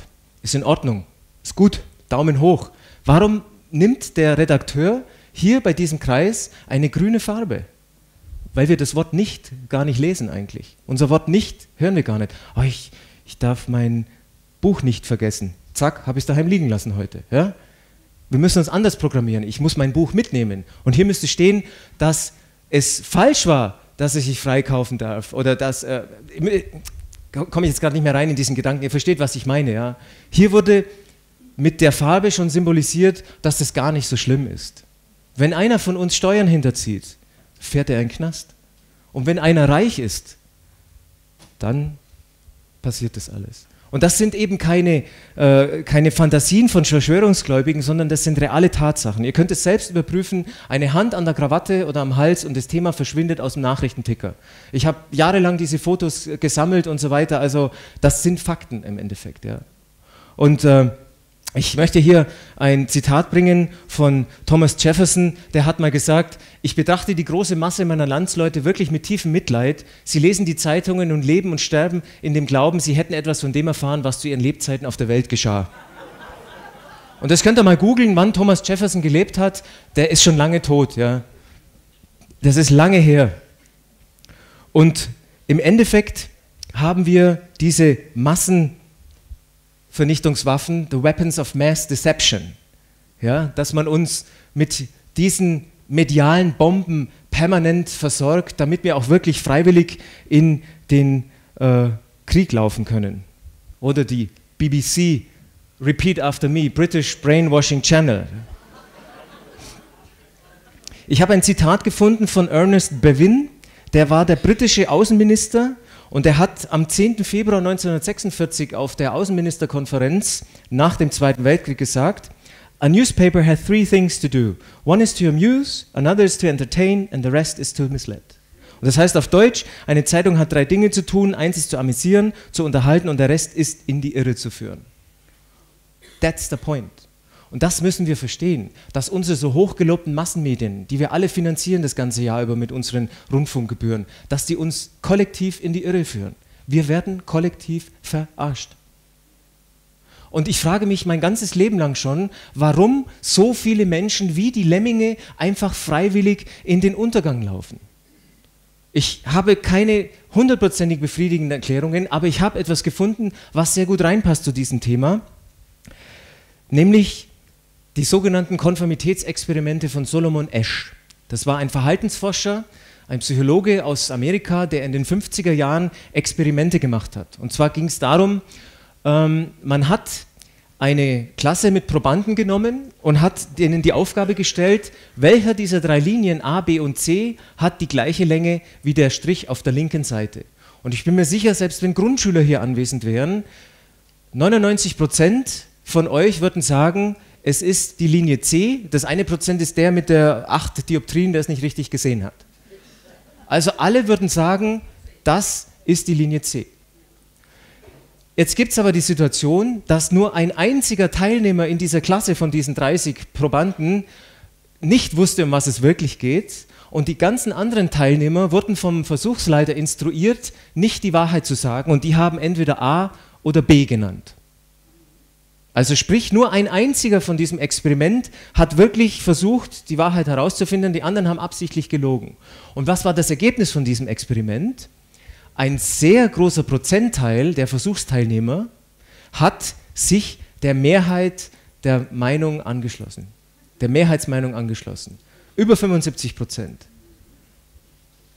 Das sind unterbewusste Mechanismen, die da laufen, und das ist die Angst vor sozialer Isolation. Der Mensch als Gruppenwesen quasi, der nur in der Gemeinschaft sicher überleben kann. Vielleicht kommt es von unseren Wurzeln, von unserer Entstehung her. Also man muss immer die Meinung der Gruppe haben, um nicht ausgeschlossen zu sein. Denn Gemeinschaft heißt Leben, so steckt es in unseren Genen. Das ist vielleicht eines dieser Gründe, warum die Leute sagen, ja, das kann ich nicht glauben, aber wenn alle anderen, ich denke schon, hm, da muss doch was dran sein, aber der von der Heute-Schau hat es gesagt, der von den Tagesthemen, im Süddeutschen stand es drin, die Bild ist es auch und ich kann doch alleine nicht was anderes behaupten, das geht doch nicht. Dieses Experiment hat mich wirklich ein bisschen weitergebracht in dem Gedanken und dann gab es aber noch ein wichtiges Experiment, das sogenannte Milgram-Experiment.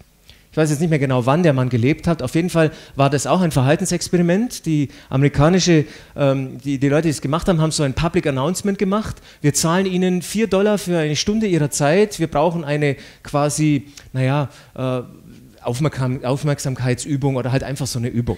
Und die Übung bestand daraus, dass eine Versuchsperson, L, vor, einem, vor einer Tastatur stand mit verschiedenen Knöpfen. Und der Versuchsleiter hat dieser Person gesagt, er muss die einzelnen Knöpfe drücken. Und diese einzelnen Knöpfe waren verbunden mit einer Stromleitung und dann eine zweite Versuchsperson, die hinter einer Wand saß, die haben sich also nicht gesehen, nur gehört, hat diese Versuchsperson dieser anderen Person Stromschräge verreicht, ab, äh, quasi verabreicht. Und es ging so weit von 10 Volt, 20, 30, 50, 300, 450, 500 Volt. Tödliche Stromstöße.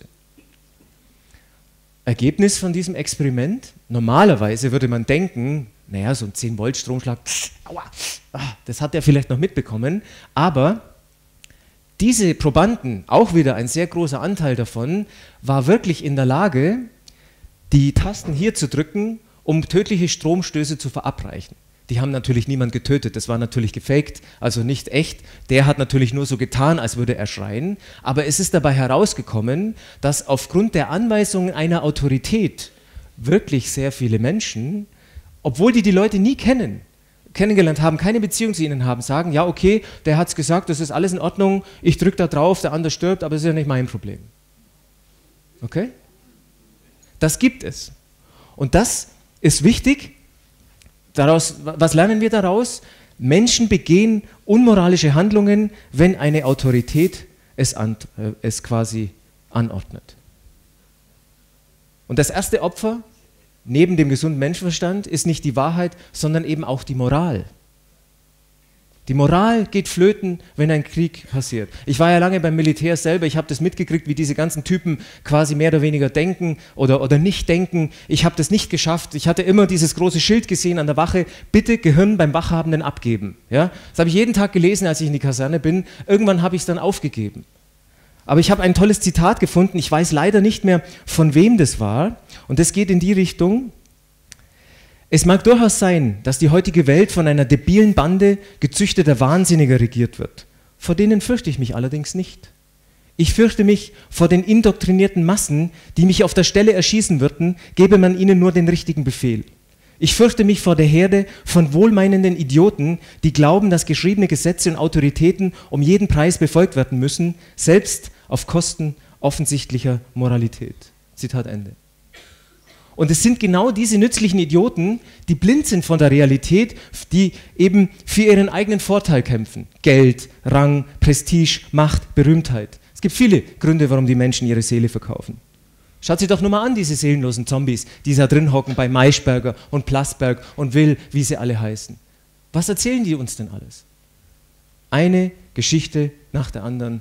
Wir sollen im Endeffekt blind gemacht werden vor der Wahrheit. Und ich habe da hier ein Zitat von Brecht gefunden, und zwar äh, in der Stimme und Gegenstimme. Kennt ihr bestimmt auch alle. Das ist vom Ivo Sasek die Publikation, die immer wieder rauskommt. Äh,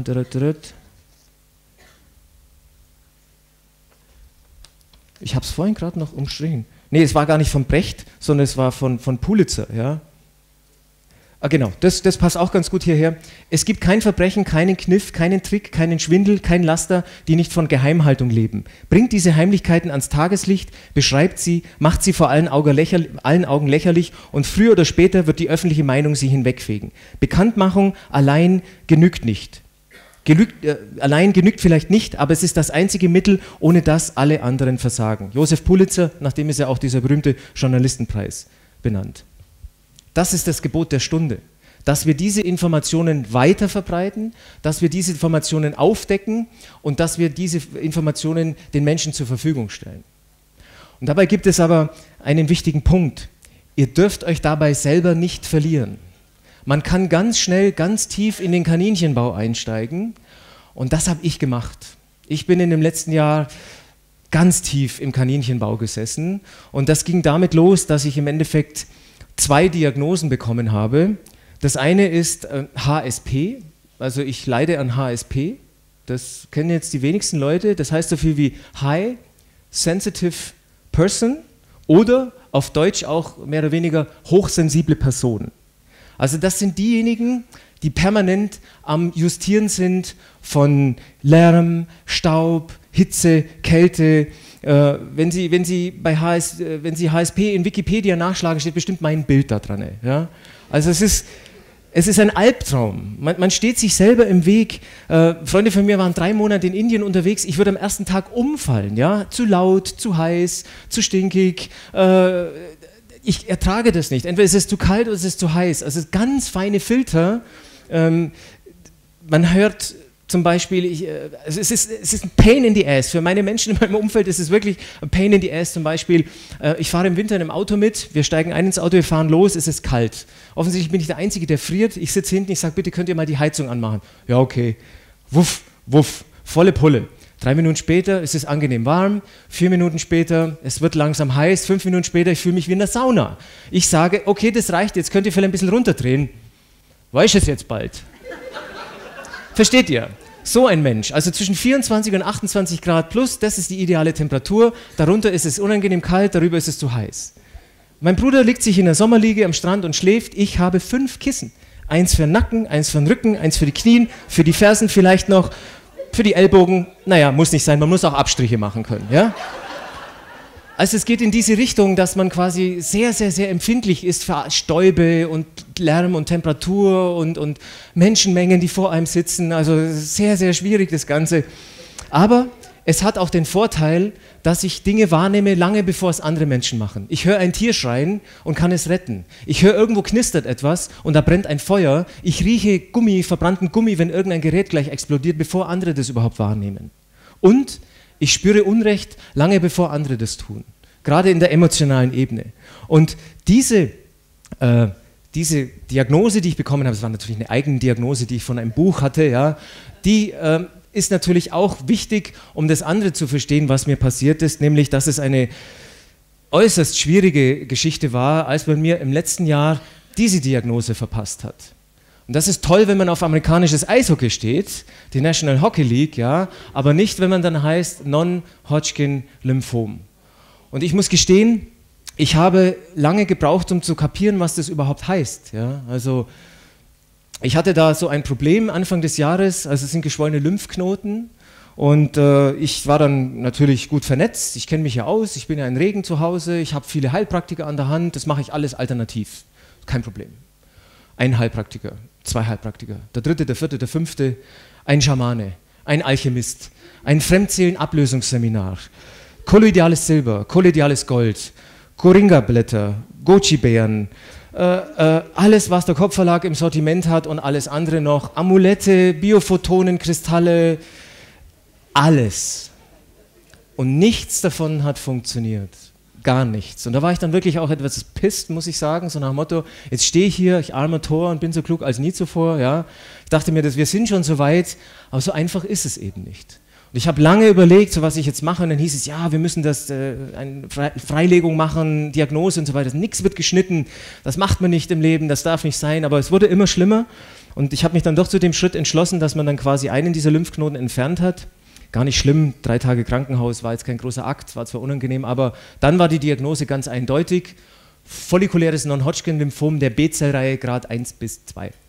Das ist wie so ein 11. September-Moment, das vergisst man nie. Und der Arzt, der das zu mir gesagt hat, also die haben da was, aber damit wären sie 87 Jahre alt, sie sehen mich nie wieder. Und da dachte ich mir, das ist eine tolle Sache. Bin nach Hause gegangen, meiner Frau erzählt und die war etwas schockiert und hat mir dann ein paar Tage später, nach ein bisschen Recherche im Internet, gesagt, dass das eigentlich die Diagnose für Lymphdrüsenkrebs ist. Und das ist dann so letzten Sommer in mich hineingesickert, so nach dem Motto, okay, was heißt das jetzt? Und ich war derjenige, der am allerlautesten geschrien hat von allen, so Chemo mache ich niemals, weil ich habe hier vor über zehn Jahren den äh, Helmut Pilar schon gehört, Dr. Hamer und so weiter und so fort. Ich kenne mich aus.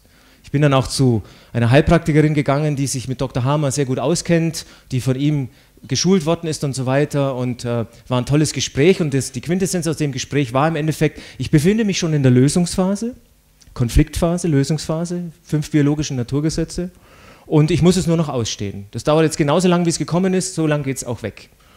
Das ist immer super, der Hammer hat recht. Leider war es nicht so. Es wurde immer mehr, es wurde immer schmerzhafter. Also ein Lymphknoten ist in der Regel so ein Zentimeter vielleicht im Durchmesser. Ab zwei, drei Zentimeter fängt man an, äh, sie zu merken. Ab vier Zentimeter tut es wirklich weh und meine waren so groß wie Golfbälle. Und zwar recht viele. Also was tut man dann in so einem Fall? Und ich habe mit vielen Menschen gesprochen, auch unter euch und, und Freunde, Bekannte, Ärzte meines Vertrauens und so weiter. Und ich habe mit zwei wichtigen Ärzten gesprochen. Das eine ist ein Naturmediziner am Bodensee, äh, am, am Tegernsee, der hat mir etwas gesagt und dann eine Freundin, eine Bekannte von mir, die vor zehn Jahren Medizin studiert hat und jetzt Allgemeinmedizinerin ist. Sie arbeitet in Bad Aibling in einer Klinik und sie hat zu mir gesagt, jetzt pass mal auf, Diejenigen, die gesagt haben, mit deiner Diagnose, ich mache das alles alternativ, von denen lebt keiner mehr. Und diejenigen, die die Chemo gemacht haben, die sind heute alle noch da. Und dann dachte ich mir, scheiße, und was mache ich jetzt? Und dieser eine Naturmediziner, der Dr. Henn am, am Tegernsee, der hat zu mir gesagt, also er macht jetzt seit 25 Jahren Naturmedizin, er ist Allgemeinmediziner, aber mit alternativen Heilverfahren. Und an meiner Situation würde er genau das machen, was ich mir überlegt hatte. Und zwar war das äh, eine ganz witzige Geschichte, den Thomas Kretschmer kennt er ja auch, der war ja letztes Jahr auch hier, dem ging es auch nicht so gut. Der hat mir einen Tipp gegeben für ein Präparat. Und ich habe recherchiert für dieses Präparat, ob das was wäre und bin in Bad Aibling in einer Klinik aufgetaucht oder habe Telefonnummer, habe angerufen, hallo, ich habe das und das Problem, ja, kommen Sie morgen vorbei. Und dieser Arzt hat dann zu mir gesagt, ja, dieses Präparat ist noch nicht so weit, aber an Ihrer Stelle bleibt Ihnen nichts anderes übrig, Chemo. Da war ich natürlich dann in dem Moment auch etwas geschockt, weil das ist genau das, was ich nie machen wollte. Mein Vater starb an Leberkrebs, eigentlich an Chemo. Mein Schwiegervater Leukämie, Chemo. Äh, in der eigenen Familie drei Krebsfälle momentan, viel Chemo. Also ist dann das jetzt wirklich, das soll das mein Weg sein? Soll ich das jetzt wirklich machen? Und vor allem, warum ist mir das jetzt passiert? Ich war doch bis jetzt immer gesund. Habe ich mich zu tief in diese Materie hineinbegeben, den Kaninchenbau aufgesucht und bin nicht mehr rausgekommen? Oder waren es vielleicht andere Dinge? Und eins der großen Dinge, worüber ich endlich auch frei sprechen kann, war ganz bestimmt meine Arbeit. Und zwar nicht die Arbeit hier als Redner, als Journalist, sondern die Arbeit dort. Vom Oktober 2005 bis vor kurzem war ich angestellt am Flughafen München und zwar dort war mein Arbeitsplatz die Sicherheitsgesellschaft am Flughafen München und ich war zuständig am Anfang als Luftsicherheitsbeauftragter Personen- und, und, Gepäckkontrolle am Flughafen München. Sie wisst schon, this is not allowed in the hand luggage. Bin relativ schnell die Leiter hochgefallen, also bin dann Modulmanager geworden und habe da die letzten acht Jahre gearbeitet, neun Jahre und davon sechs Jahre in Vollzeit. Frühschicht, Spätschicht im Wechsel, vier Uhr morgens Dienstbeginn. Es war also oft so, dass ich hier am Sonntag gefahren bin und am nächsten Morgen dann irgendwo an so einer Flugkontrollstelle aufgelaufen bin und habe dann im Endeffekt äh, alle möglichen Sachen erlebt. 100.000 Passagiere am Tag. Ihr könnt euch nicht vorstellen, was es da alles zu erleben gibt. Ich könnte das ganze Wochenende nur über das reden. Ich hatte einen Chinesen vor mir, der hatte eine Schildkröte in der Hosentasche drin. So eine kleine Schildkröte. Und, und ein anderer Chinese hatte frisch gehacktes Hühnchen, äh, frisch geschlachtetes Hühnchen im Tetrapack drin. Alufelgen, Autobatterien und, und, und. Und, und ich, ich habe Sachen erlebt, ein paar Kleinigkeiten sind mir jetzt gerade gestern eingefallen. Könnt ihr euch erinnern an dieses unaussprechliche Wort, diesen Eyjafjolla Jökull? Da war vier Tage lang Schicht im Schacht. Ja? Wir hatten echt einen lockeren Dienst. Wir sind da äh, zum Dienst gegangen, es sind keine Flüge abgehoben und dann habe ich die Leute gesehen, die da gestrandet sind Vier Tage saßen die am Flughafen München fest und denen ging es noch gut. Das war der öffentliche Bereich. Aber es gab welche, die hatten kein Visa. Die durften also nicht aus dem Terminalgebäude raus. Und die waren dann in so, in so Hallen drin, so Spezialhallen, die für den Israelverkehr vorgesehen sind. Unglaublich. Oder vielleicht der ein oder andere erinnert sich noch, ja, Sicherheitsalarm legt Münchner Flughafen lahm. Ähm, Großsperrung am Münchner Flughafen. Münchner Flughafen war Fehlalarm. Laptop-Vorfall, Riesensicherheitspanne am Flughafen. Ich war damals im Dienst. Ich war da im Dienst und vor meiner Tür standen 10.000 Menschen, die rein wollten. Ich dachte, ich bin hier echt in einem Film. Was passiert denn hier? Das gibt es doch gar nicht. Ich muss dazu etwas sagen diese Nummer, die war, ich will jetzt da nichts Internes erzählen, das macht man nicht. Man tritt nicht nach und ich erkläre noch gleich etwas über das Dings, aber der Mann, der hier rechts sitzt, das war unser alter Geschäftsführer, der hat zu mir gesagt, dass er in der Nacht um 11 einen Anruf gekriegt hat vom Regierungspräsident mit der Maßgabe, am nächsten Morgen einen 38-Punkten-Plan vorzulegen, dass das nie wieder vorkommt. Ja. Da sind sehr viele Leute sehr nervös geworden, aber das war halt eins dieser Dinge, die passiert, wenn diese Sicherheitsmaßnahmen so, so eskalieren, so, so quasi ähm, äh, übertrieben werden. Und das ist aber etwas ganz wichtig, bevor ihr jetzt den Eindruck bekommt, dass ich hier schlecht rede nur drüber. Airport Sicherheit, Flughafen Sicherheit wird im Englischen in zwei Begriffe unterscheiden. Das eine ist Airport Safety und das andere ist Airport Security. Das Wort Safety ist in dem Moment im Zusammenhang mit allem, was das Flugzeug mechanisch beschädigen könnte. Das ist ein hochkomplexes Gerät, besteht aus Millionen Einzelteilen, das ist sehr komplex, das muss gewartet werden. Es gibt gewisse Dinge, die darf man da nicht machen. Ihr glaubt nicht, was die Leute alles mitnehmen. Krassestes Beispiel, ein Jäger aus Südafrika, ein Großwildjäger, kam zurück und hatte in seiner Thermoskanne konzentrierte Schwefelsäure drin. Er wollte nämlich das Geweih von dem Bock, den er geschossen hatte, zu, heim, zu Hause bleichen. Ein Kollege hat es im Reisegepäck gefunden, hat sich dabei die Hand verätzt. Wenn das Ding ausgelaufen wäre im Flugzeug, wäre das durch diesen dünnen Aluminiumrumpf durchgeflossen, hätte das Flugzeug zum Absturz gebracht. Also Airport Safety ist eine super, super Sache und ich würde niemals in ein Flugzeug einsteigen, ohne dass es diese Leute gibt, wie mich und alle anderen ehemaligen Kollegen, die das machen. Das ist eine tolle Sache. Und jedes Mal, wenn ihr beim nächsten Mal in einen Flieger einsteigt, solltet ihr dafür denken, ja? Das ist wichtig und das ist gut so, dass es das gibt. Natürlich gibt es dann auch wieder Leute, die das 80, 90 Prozent der Menschen sind nett und gut und die machen das alles auch richtig und menschlich. Und dann gibt es natürlich auch diejenigen, die das Ganze etwas schwieriger gestalten. Mein Schwiegervater, Gott hab ihn selig, hat immer gesagt, die Anzahl der Arschlöcher ist gleich verteilt im Leben. Ja, also egal wo man hinkommt, man trifft halt auch immer irgendwie schwierige Menschen. Diejenigen, die eher mit Maschinen arbeiten sollten, die sollten halt nicht in so einem sensiblen Bereich arbeiten. Ja, das müsst ihr bedenken, das ist aber nur eine kleine Anzahl. Das sind tolle Menschen, die da arbeiten. Und ich habe das sehr genossen, da zu arbeiten. Was aber das Ganze extrem schwierig gemacht hat, für mich persönlich auch, war der Begriff Security. Ich bin ja lange nach dem 11. September, da habe ich da angefangen und damals waren die Sicherheitsmaßnahmen 2005 schon relativ streng. Also es geht schon, versucht mal einen 180 Kilo Amerikaner zu kontrollieren, Körperkontrolle. Da wisst ihr, was ihr tut. Ja? Wenn der nicht so durch die Schleuse geht, sondern so durch die Schleuse durchkommt. Ja? Schwitzig, stinkend und du musst den anfassen und so weiter. Das ist nicht einfach, aber das kann man alles handeln. Man kann sich an alles gewöhnen. Was wirklich schwierig geworden ist, und das hat euch bestimmt auch schon mal betroffen, dass am 6. August 2006 angeblich irgendwelche Terroristen in England ein Flüssigbombenattentat geplant hatten. Technisch ist es überhaupt gar nicht machbar gewesen, weil selbst wenn man flüssige Sprengstoffe mischt, braucht man dazu eine Laborausrüstung. Man braucht gewisse Zeit, mindestens 14 Stunden, um das Ganze reaktionsfähig zu bringen, die einzelnen Komponenten, und dann muss man das filtern und abtrocknen. Also wie soll das jetzt gehen? Also der Terrorist nimmt seinen Kinderwagen, das in Wirklichkeit ein getarntes Minilabor ist, dann geht er damit auf die Flugzeugtoilette, schließt sich für 14 Stunden ein, um dann den Sprengstoff aufzukochen, zu filtern und dann zu trocknen. Hä? Wie soll das gehen? Und ich wusste aber sofort, dass damals, als das passiert ist, da kommt jetzt bestimmt die nächste Eskalationsstufe und das ist dabei rausgekommen, Liquids in the Hand Luggage. Seit November 2006 müssen alle Passagiere ihre Flüssigkeiten in einem flüssig, wieder verschließbaren Plastikbeutel mit Ziplock äh, verbringen, maximal ein Liter Fassungsvermögen, maximal 10 Gebinde, 100 Milliliter, bla bla bla bla. Ich habe das 10 Millionen Mal erzählt, diesen Spruch. Ja. Und das ist überhaupt, es gibt, ergibt keinen Sinn. Das ist nur Schikane.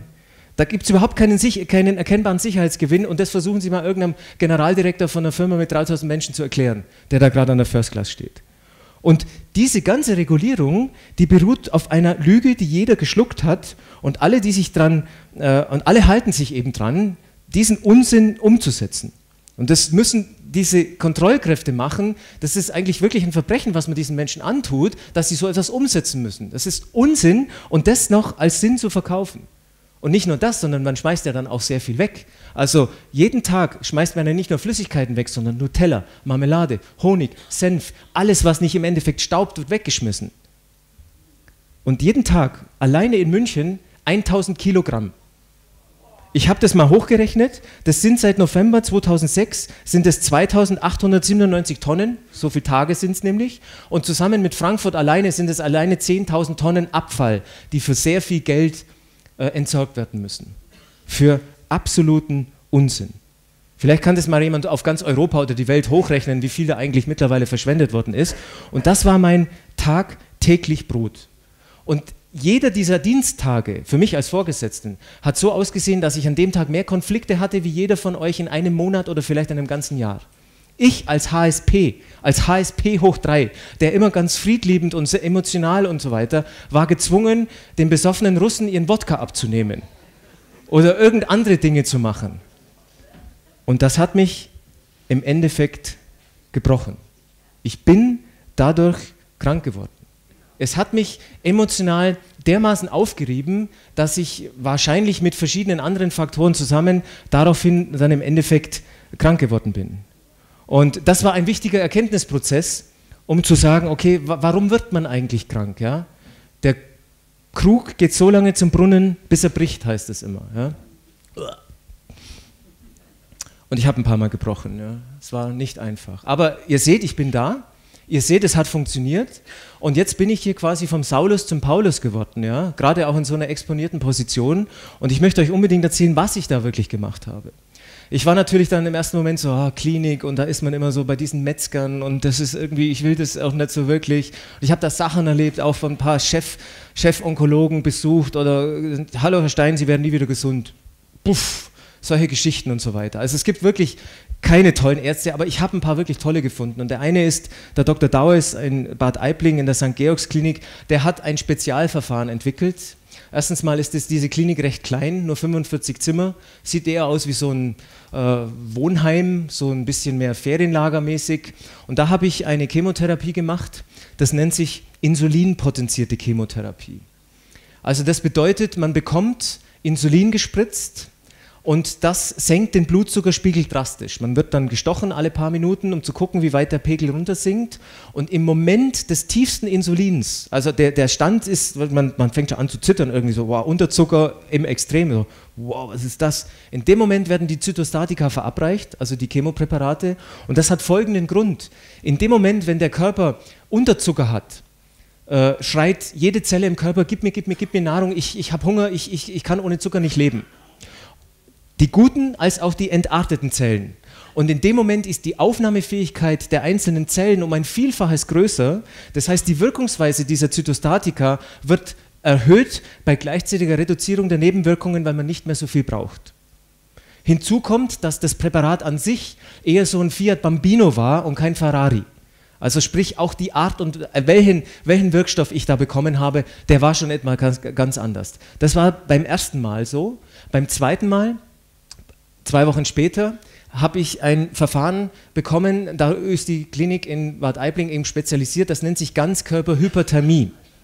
Das ist ein wirklich sehr, sehr erfolgreiches Verfahren, das weltweit anerkannt ist, aber natürlich nicht von den Pharmalobbyisten. Da kommen Menschen aus der ganzen Welt in diese Klinik, da gibt es am Eingang so eine Weltkarte, wo Menschen so mit einer Nadel hinstecken, wo sie herkommen, weltweit wirklich. Ja klar, natürlich Australien, Amerika, Europa, die meisten, in Afrika haben wenig Leute Geld für so etwas.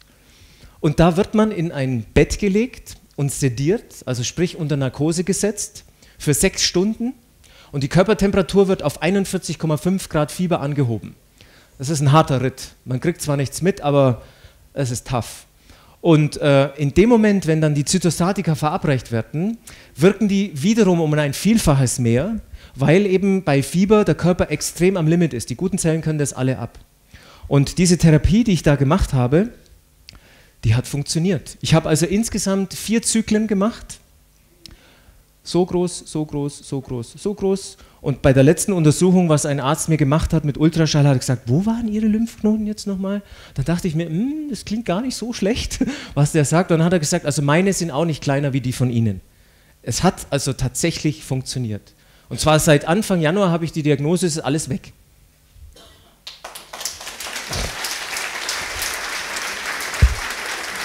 Ja, wenn es nur so einfach wäre. Also diese Nummer ist weg. Ich bin aber gesundheitlich noch nicht ganz zurück in der Spur. Also es gibt schon noch, also mein Körper hat mir diese Chemo schon übel genommen, das muss ich schon sagen. Das war jetzt kein Hustensaft. Ja. Also das ist schon eine harte Nummer und wie gesagt, ich habe im persönlichen Unfall gerade mehrere Leute, die das erleiden. Also was ich erlebt habe, war, war harmlos im Vergleich zu diesen ganzen anderen Dingen. Aber es gab vor allem eine Sache, ich habe es einfach angenommen. Ich habe diese Angst abgeschaltet und ich habe es angenommen als Prüfung, als Aufgabe, als Arschtritt vom Universum. Ich habe einfach erkannt, okay, ich muss mein Leben ändern.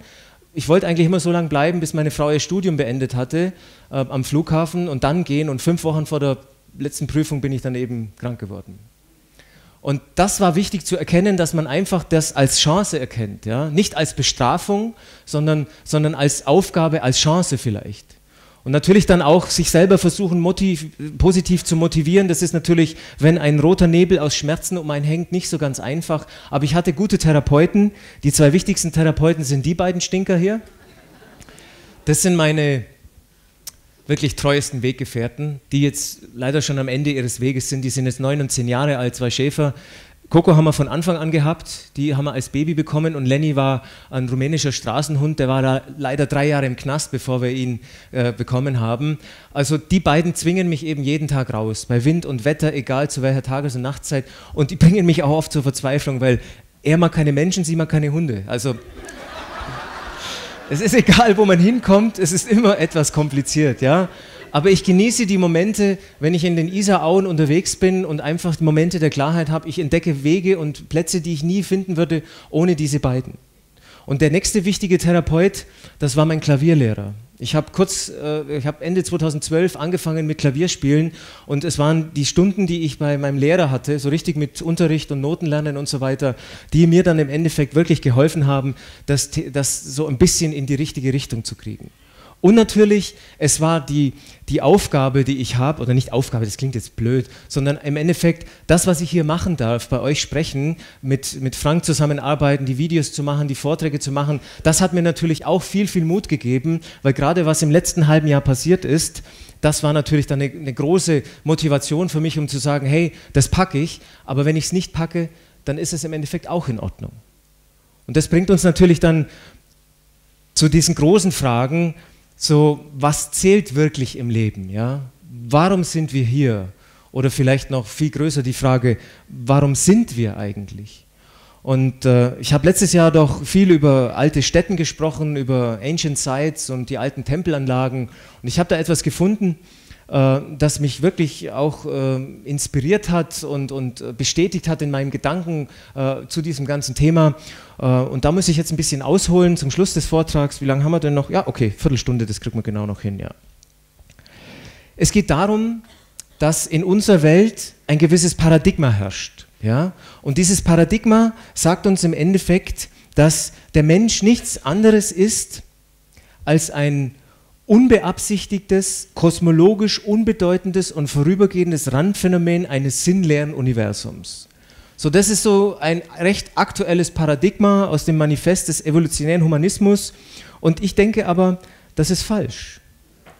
Das stimmt nicht. Und das bestätigen mir nicht nur viele von euch, sondern auch meine eigene Erfahrung bestätigt mir das. Und ähm, unsere Erklärung, wie wir entstanden sind, das habe ich ja auch schon oft mal thematisiert, so nach dem Motto dieser tolle Vierklang, kosmischer Staub, biologischer Schleim, Affen, Physik-Nobelpreis. Ja, so, so hat man uns doch das alles erklärt, so quasi, ähm,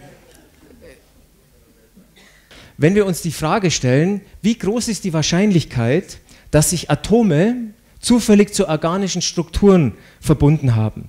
Und da gibt es dann eben die Antwort aus den biologischen Lehrbüchern und die heißt dann eben, aus heute noch nicht vollständig geklärten Vorgängen der Biogenese entstanden erste lebensfähige organische Verbindungen. Thema erledigt. Also bitte, ja, das Mittelalter mit seinen altertümlichen Vorstellungen haben wir schon lange hinter uns gelassen. Leben entstand aus Materie, woraus denn sonst? Und jetzt müssen wir mal genau hinschauen. Und zwar, unser Körper besteht ja im Endeffekt aus Schätzungen gehen unter, unter, ähm, auseinander, aus bis zu 60 Billionen Zellen. Und die Grundbausteine von diesen Zellen, das sind Proteine und Enzyme. Und die wiederum bestehen aus Aminosäuren.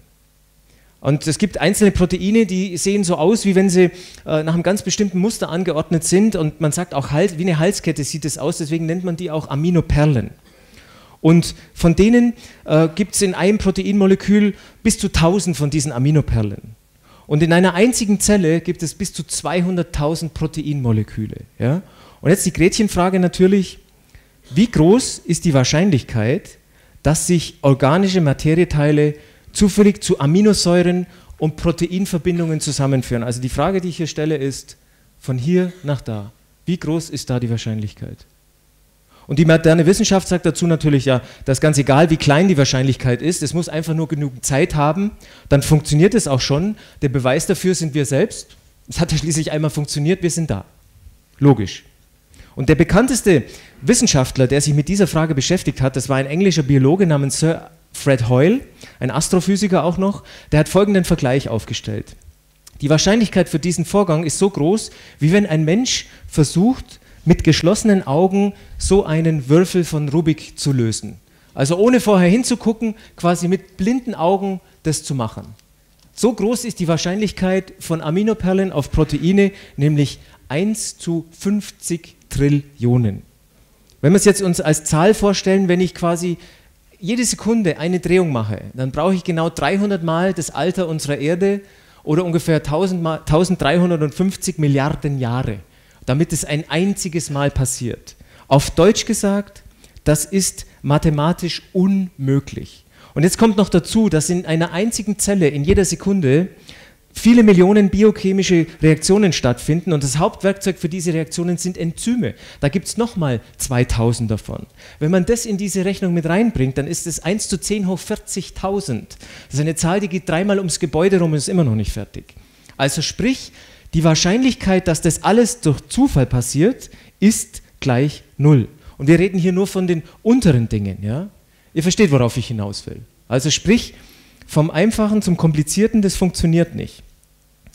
Und es gibt da eine wissenschaftliche Debatte, die im Endeffekt seit Jahren diese Diskussion dominiert. Und zwar ist es als Folge von 2000 Jahren religiöser Dogmatik hat sich eben der Darwinismus durchgesetzt mit seiner Vorstellung als äh, der Mensch als Tier auf zwei Beinen und die wortwörtliche Auslegung der Bibel als göttliches Fax aus dem Himmel, die Vorstellung der Kreationisten im Endeffekt. Ja? Also sprich, diese beiden großen Hauptlager gibt es. Doch diese beiden Lager sind nur die zwei Seiten der gleichen Spaltung. Und derjenige, der das zusammenbringt, ist einer, der hier auch schon oft gesprochen hat, den ich als, äh, äh, mittlerweile auch als Freund bezeichnen darf, wirklich. Das ist der Armin Risi, der ein alternatives Konzept zur Entstehung von Menschen in seinem letzten Buch thematisiert hat, nämlich ihr seid Lichtwesen. Das ist eine Ableitung eines Bibelzitats, ihr seid Elohim. Und er geht davon aus, dass es gewisse Schöpferkräfte waren, die quasi für die Entstehung von uns Menschen verantwortlich sind.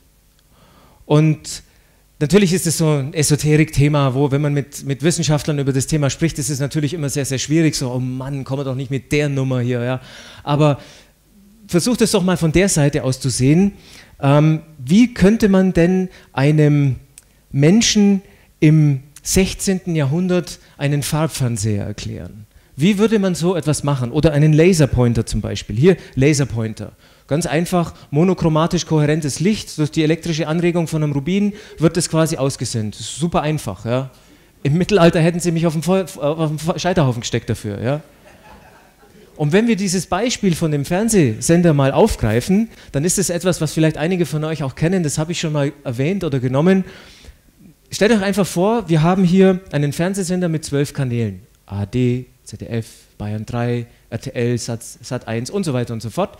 Und wenn wir uns jetzt mal vorstellen, dass quasi ein Fernsehkanal immer auf einer bestimmten Frequenz sendet und wir, je nachdem, welche Frequenz wir haben, das eine Programm sehen können, dann vielleicht ist das ein, eine Möglichkeit, das auf ein anderes Bild umzumünzen, nämlich auf die Dimensionsskala. Dass wir Menschen, die wir hier quasi in der dritten Dimension sind, die wir hier, nein, nackte Männer, machen wir es so, ist besser, funktioniert immer. Funktioniert immer.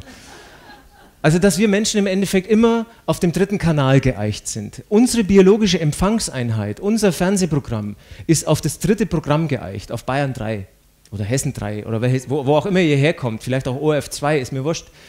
Auf jeden Fall, wir haben nur diese eine Möglichkeit. Und was da unter uns stattfindet, in den tieferen Frequenzen oder in den höheren, dazu haben wir keine Möglichkeit. Wir haben keine Fernbedienung in der Hand. Manch einer hat es. Es gibt Menschen, die haben Informationen aus anderen Ebenen bekommen. Und worauf ich im Endeffekt hinaus will, dass wir uns mit dem Gedanken vertraut machen müssen, dass das Universum eben nicht einfach aus Versehen ausgefurzt hat, sondern dass wir mit einer gewissen Aufgabe hier sind, dass es einen gewissen Plan gibt. Es gibt keine Uhr ohne Uhrmacher. Nehmt doch mal das Beispiel, nimmt irgendeine Küchenuhr, zerlegt sie in die Einzelteile, packt sie in eine Schachtel rein, frage, wie lange müsst ihr schütteln, bis es wieder eine komplette Uhr rauskommt? Die Antwort ist ewig. Keine Uhr ohne Uhrmacher. Das heißt, hinter all diesen Dingen äh, äh, steckt ein gewisser Sinn und diese Uhrmacher, die haben Spuren hinterlassen. Und diese Spuren finden wir in den alten Zivilisationen und ich möchte euch zum Schluss von diesem Vortrag mitnehmen zu dem ältesten Tempel in der Geschichte der Menschheit. Wir machen einen Ausflug in, nach Südostanatolien an der Grenze zu, äh, zu Syrien, nämlich nach Göbekli Tepe. Das ist ein unaussprechlicher Name, aber dieser Name hat das Talent, unser gesamtes Weltbild auf den Kopf zu stellen. Und unser heutiges Geschichtsbild geht ja davon aus, dass die ersten Siedlungen von Menschen in einem Gebiet waren, das man eben auch den fruchtbaren Halbmond nennt. Und dieses Gebiet bezeichnet eben die Gebirgszüge von Südostanatolien aus, vorbei am nördlichen Teil der syrischen Wüste übers Zweistromland Euphrat und Tigris bis zum Westen vom Iran. Und die ersten Hinweise auf Ackerbau und Viehzucht finden wir in diesem Gebiet. Aber jetzt kommt es erstaunlicherweise nicht in den Ebenen, in den Tälern, sondern in den Höhenlagen, was recht seltsam ist. Weil normalerweise ist Ackerbau und Viehzucht, je höher man kommt, umso schwieriger. Aber da waren die ersten, Folie, äh, die ersten äh, Spuren von Menschen. Und bis vor wenigen Jahren ist die moderne Geschichtsschreibung davon ausgegangen, dass sich religiöse Handlungen erst später entwickelt haben, nachdem die Menschen sesshaft geworden sind. Und jedoch sind die ältesten vorhandenen Bauwerke Tempelanlagen, was uns zu dem Schluss führt, dass nicht die Landwirtschaft, sondern die Religion die Zivilisation hervorgebracht hat. Und was steckt dann eigentlich hinter diesem missverständlichen Begriff Religion? Was stand wirklich am Anfang der Zivilisation? Und wenn wir dann nach Südostanatolien gehen, dann finden wir dort die ältesten Tempelanlagen und zwar wieder megalithische Anlagen. Und bei diesem Hügel auf einer kahlen und weiten Hochebene dachten die Menschen dort immer, dass es sich eben um eine natürliche Erhebung handelt. Und der Name ist Göbekli Tepe. Göbek ist türkisch und heißt der Bauch, der Nabel und äh, gebauchter Hügel ist im Endeffekt die volle Übersetzung. Und der deutsche Archäologe Klaus Schmidt hat als erster 1994 erkannt, dass es sich hier nicht um eine, nat äh, eine natürliche Erhebung handelt, sondern dass hier zugeschüttete steinzeitliche Megalithanlagen verborgen liegen.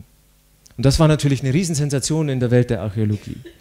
Untersuchungen mit Bodenradar haben ergeben, dass sich auf einem Gebiet von 9 Hektar, das sind 20 Fußballfelder, ja, auf drei verschiedenen Ebenen 20 Tempelanlagen befinden, die über 2000 Jahre hinweg gebaut und dann wieder zugeschüttet worden sind. Bis jetzt hat man vier dieser Tempel freigelegt, das spricht, entspricht ungefähr erstmal 5% von dieser Gesamtfläche. Und das wesentliche Merkmal dieser Anlagen sind monolithische T-Pfeiler, jeweils zwei im Zentrum und kleinere, die entweder kreis- oder spiralförmig um dieses Zentrum angeordnet sind. Wobei ähm, Später sind diese Pfeiler dann mit Mauern äh, verkleidet worden, aber da hat man gesehen, dass das eine viel geringere Qualität hat. So schätzungsweise bis 10 Meter im Innenraumdurchmesser, 30 Meter im Außendurchmesser. Die Pfeiler selber sind aus hartem kristallinem Gestein aus der Umgebung geschlagen worden und über hunderte Meter in unwegsamem, Lände, äh, unwegsamem Gelände auch transportiert worden. Und dabei ist zu bedenken, das war vor langer, langer Zeit und das sind Pfeiler, die sind bis zu fünf Meter hoch nicht nur toll gearbeitet, sondern auch bis zu 16 Tonnen schwer. Und die meisten archäologischen Stätten sind natürlich im Laufe der Zeit verschüttet und müssen neu entdeckt und ausgegraben werden. Das ist ja klar, das war schließlich auch bei Göbekli Tepe der Fall. Doch das wahrscheinlich Einzigartige an dieser Stätte ist, dass die Menschen die Anlagen selber zugeschüttet haben. Und vor circa 12.000 bis 10.000 Jahren wurden auf einer Fläche von 9 Hektar insgesamt 20 Anlagen gebaut und dann mit einer halben Million Kubikmeter Füllmaterial wieder zugeschüttet. Die letzten Bauten sind ungefähr vor 10.000 Jahren verschüttet worden. Und was bei den Grabungen sehr schnell deutlich geworden ist, dass die Qualität der Anlagen bei den späteren Anlagen immer nachgelassen hat. Die ältesten sind die technisch anspruchsvollsten und auch die größten. Das heißt, die Pfeiler wurden kleiner und weniger sorgfältig aufgestellt. Es findet hier eine rückläufige Entwicklung statt, hat stattgefunden. Und was waren das jetzt für Menschen? Und warum haben sie diese wirklich aufwendigen Steinkreistempel errichtet, nur um sie danach wieder zuzuschütten, um darauf und daneben über Jahrtausende noch neue Anlagen zu bauen? Das hat schließlich riesige Arbeit gekostet, dieses Material dahin zu tragen. Das macht man ja nicht umsonst einfach nur über 60 Generationen lang. Warum so eine Kraftanstrengung? Und es gab einen Artikel in der National Geographic, die hat im Juni 2011 einen langen Artikel über Göbekli Tepe gebracht und Zitat, wir dachten, Sesshaftigkeit habe die Stadt, die Religion, die Kultur hervorgebracht. Der älteste Tempel der Welt stellt diese Annahme nun auf den Kopf. Wurde vielmehr der Drang, Götter zu verehren, zum Zündfunken für den Aufstieg der Zivilisation? Und die bisherige Theorie über die neolithische Revolution, also die, den Übergang von der Alt- zur Jungsteinzeit, das nennt man neolithische Revolution. Diese Theorie, die bisherige, die klang aus Sicht von den Darwinisten ja äh, ziemlich logisch. Also als Tierabkömmling hat der Mensch Jahrtausende quasi als Nomade gelebt und hat sich dann mehr oder weniger sesshaft gemacht. Und dann hat er angefangen, Landwirtschaft zu betreiben. Und erst dann im Rahmen von kultischen Handlungen haben Menschen angefangen, Tempel zu bauen. Das war die Theorie. Viehzucht, Ackerbau, wir haben Dörfer gebaut und dann haben wir irgendwann angefangen, Tempel zu bauen. Und Göbekli Tepe zeigt jetzt genau das Gegenteil, nämlich zuerst waren die Tempel da und dann wurde der Mensch sesshaft. Und das stellt das gesamte archäologische Weltbild komplett auf, die, auf, auf den Kopf. Also wenn wir geografisch mal anschauen, wo diese Tempel liegen, dann sind die eben am nördlichen Rand des fruchtbaren Halbmonds und von dort hat sich dann auch die Landwirtschaft ausgebreitet, bis hinunter eben in die Länder von Mesopotamien. Und die alten sumerischen Mythen, die erzählten noch Jahrtausende später, dass ihre Kultur von den sogenannten Anuna-Göttern gegründet worden ist, die im Hügeln im Norden gelebt haben. Und es deutet wirklich sehr viel darauf hin, dass von Göbekli Tepe aus die entscheidenden Impulse für die neolithische, neolithische Revolution ausgegangen sind. Und die Tempel, die waren das eigentliche ursprüngliche revolutionäre Zentrum. Das Zentrum von diesen Anlagen waren jeweils zwei hohe T-Pfeiler.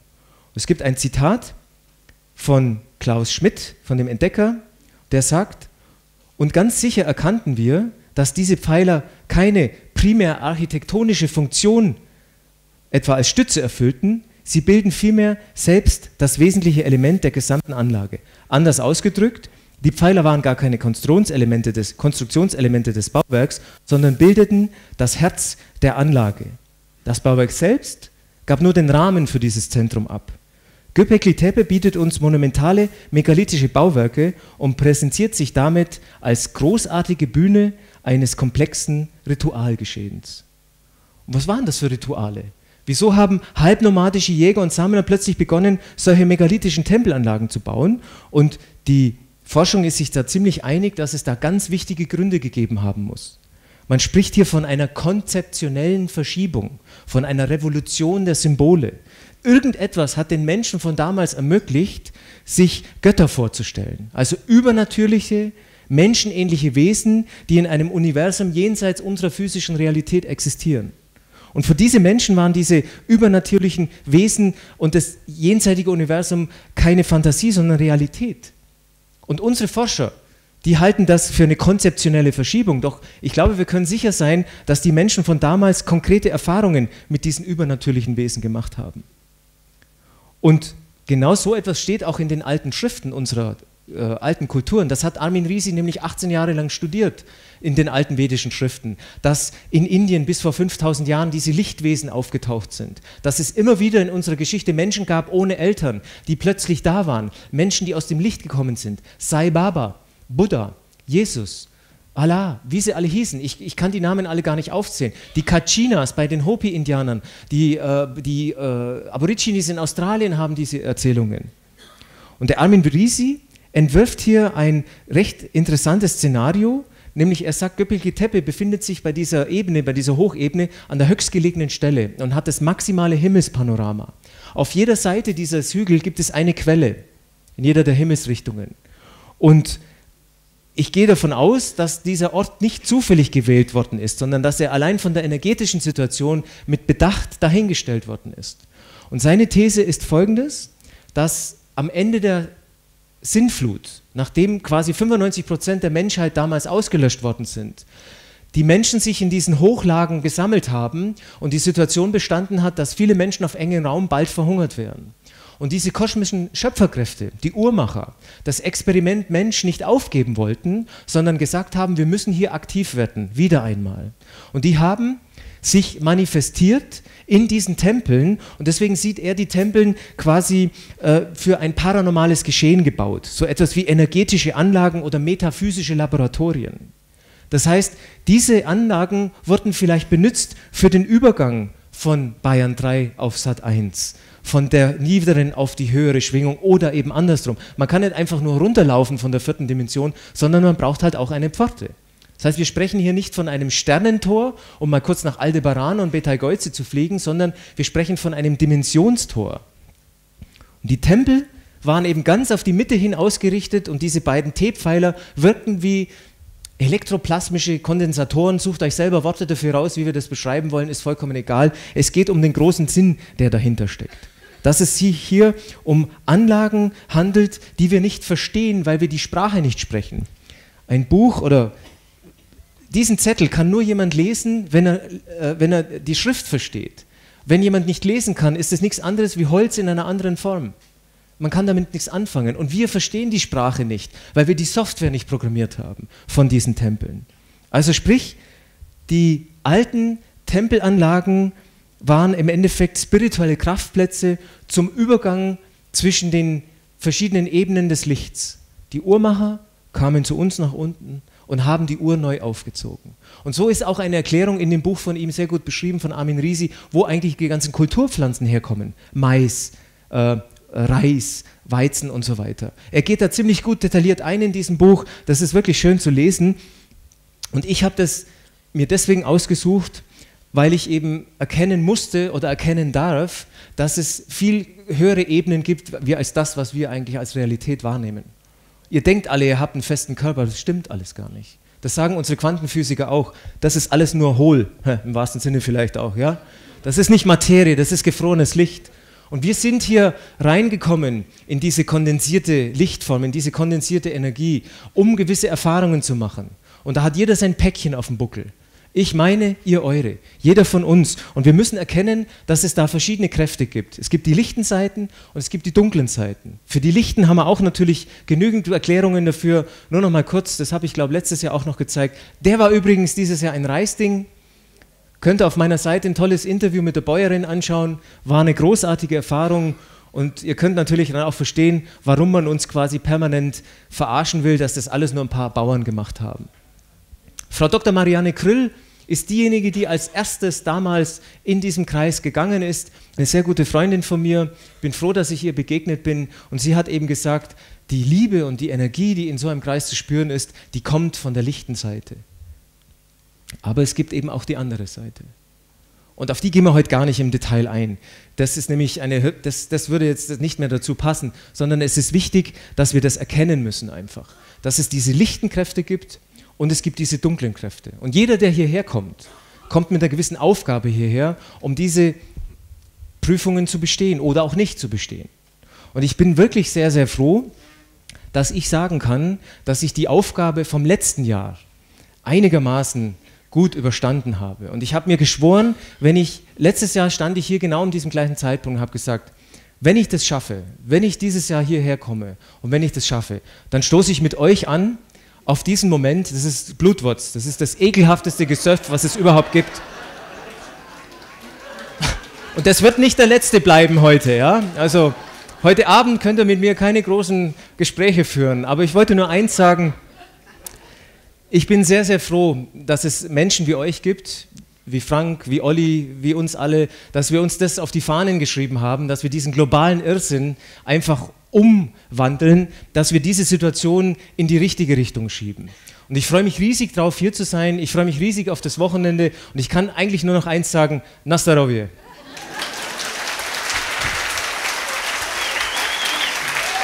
Oh.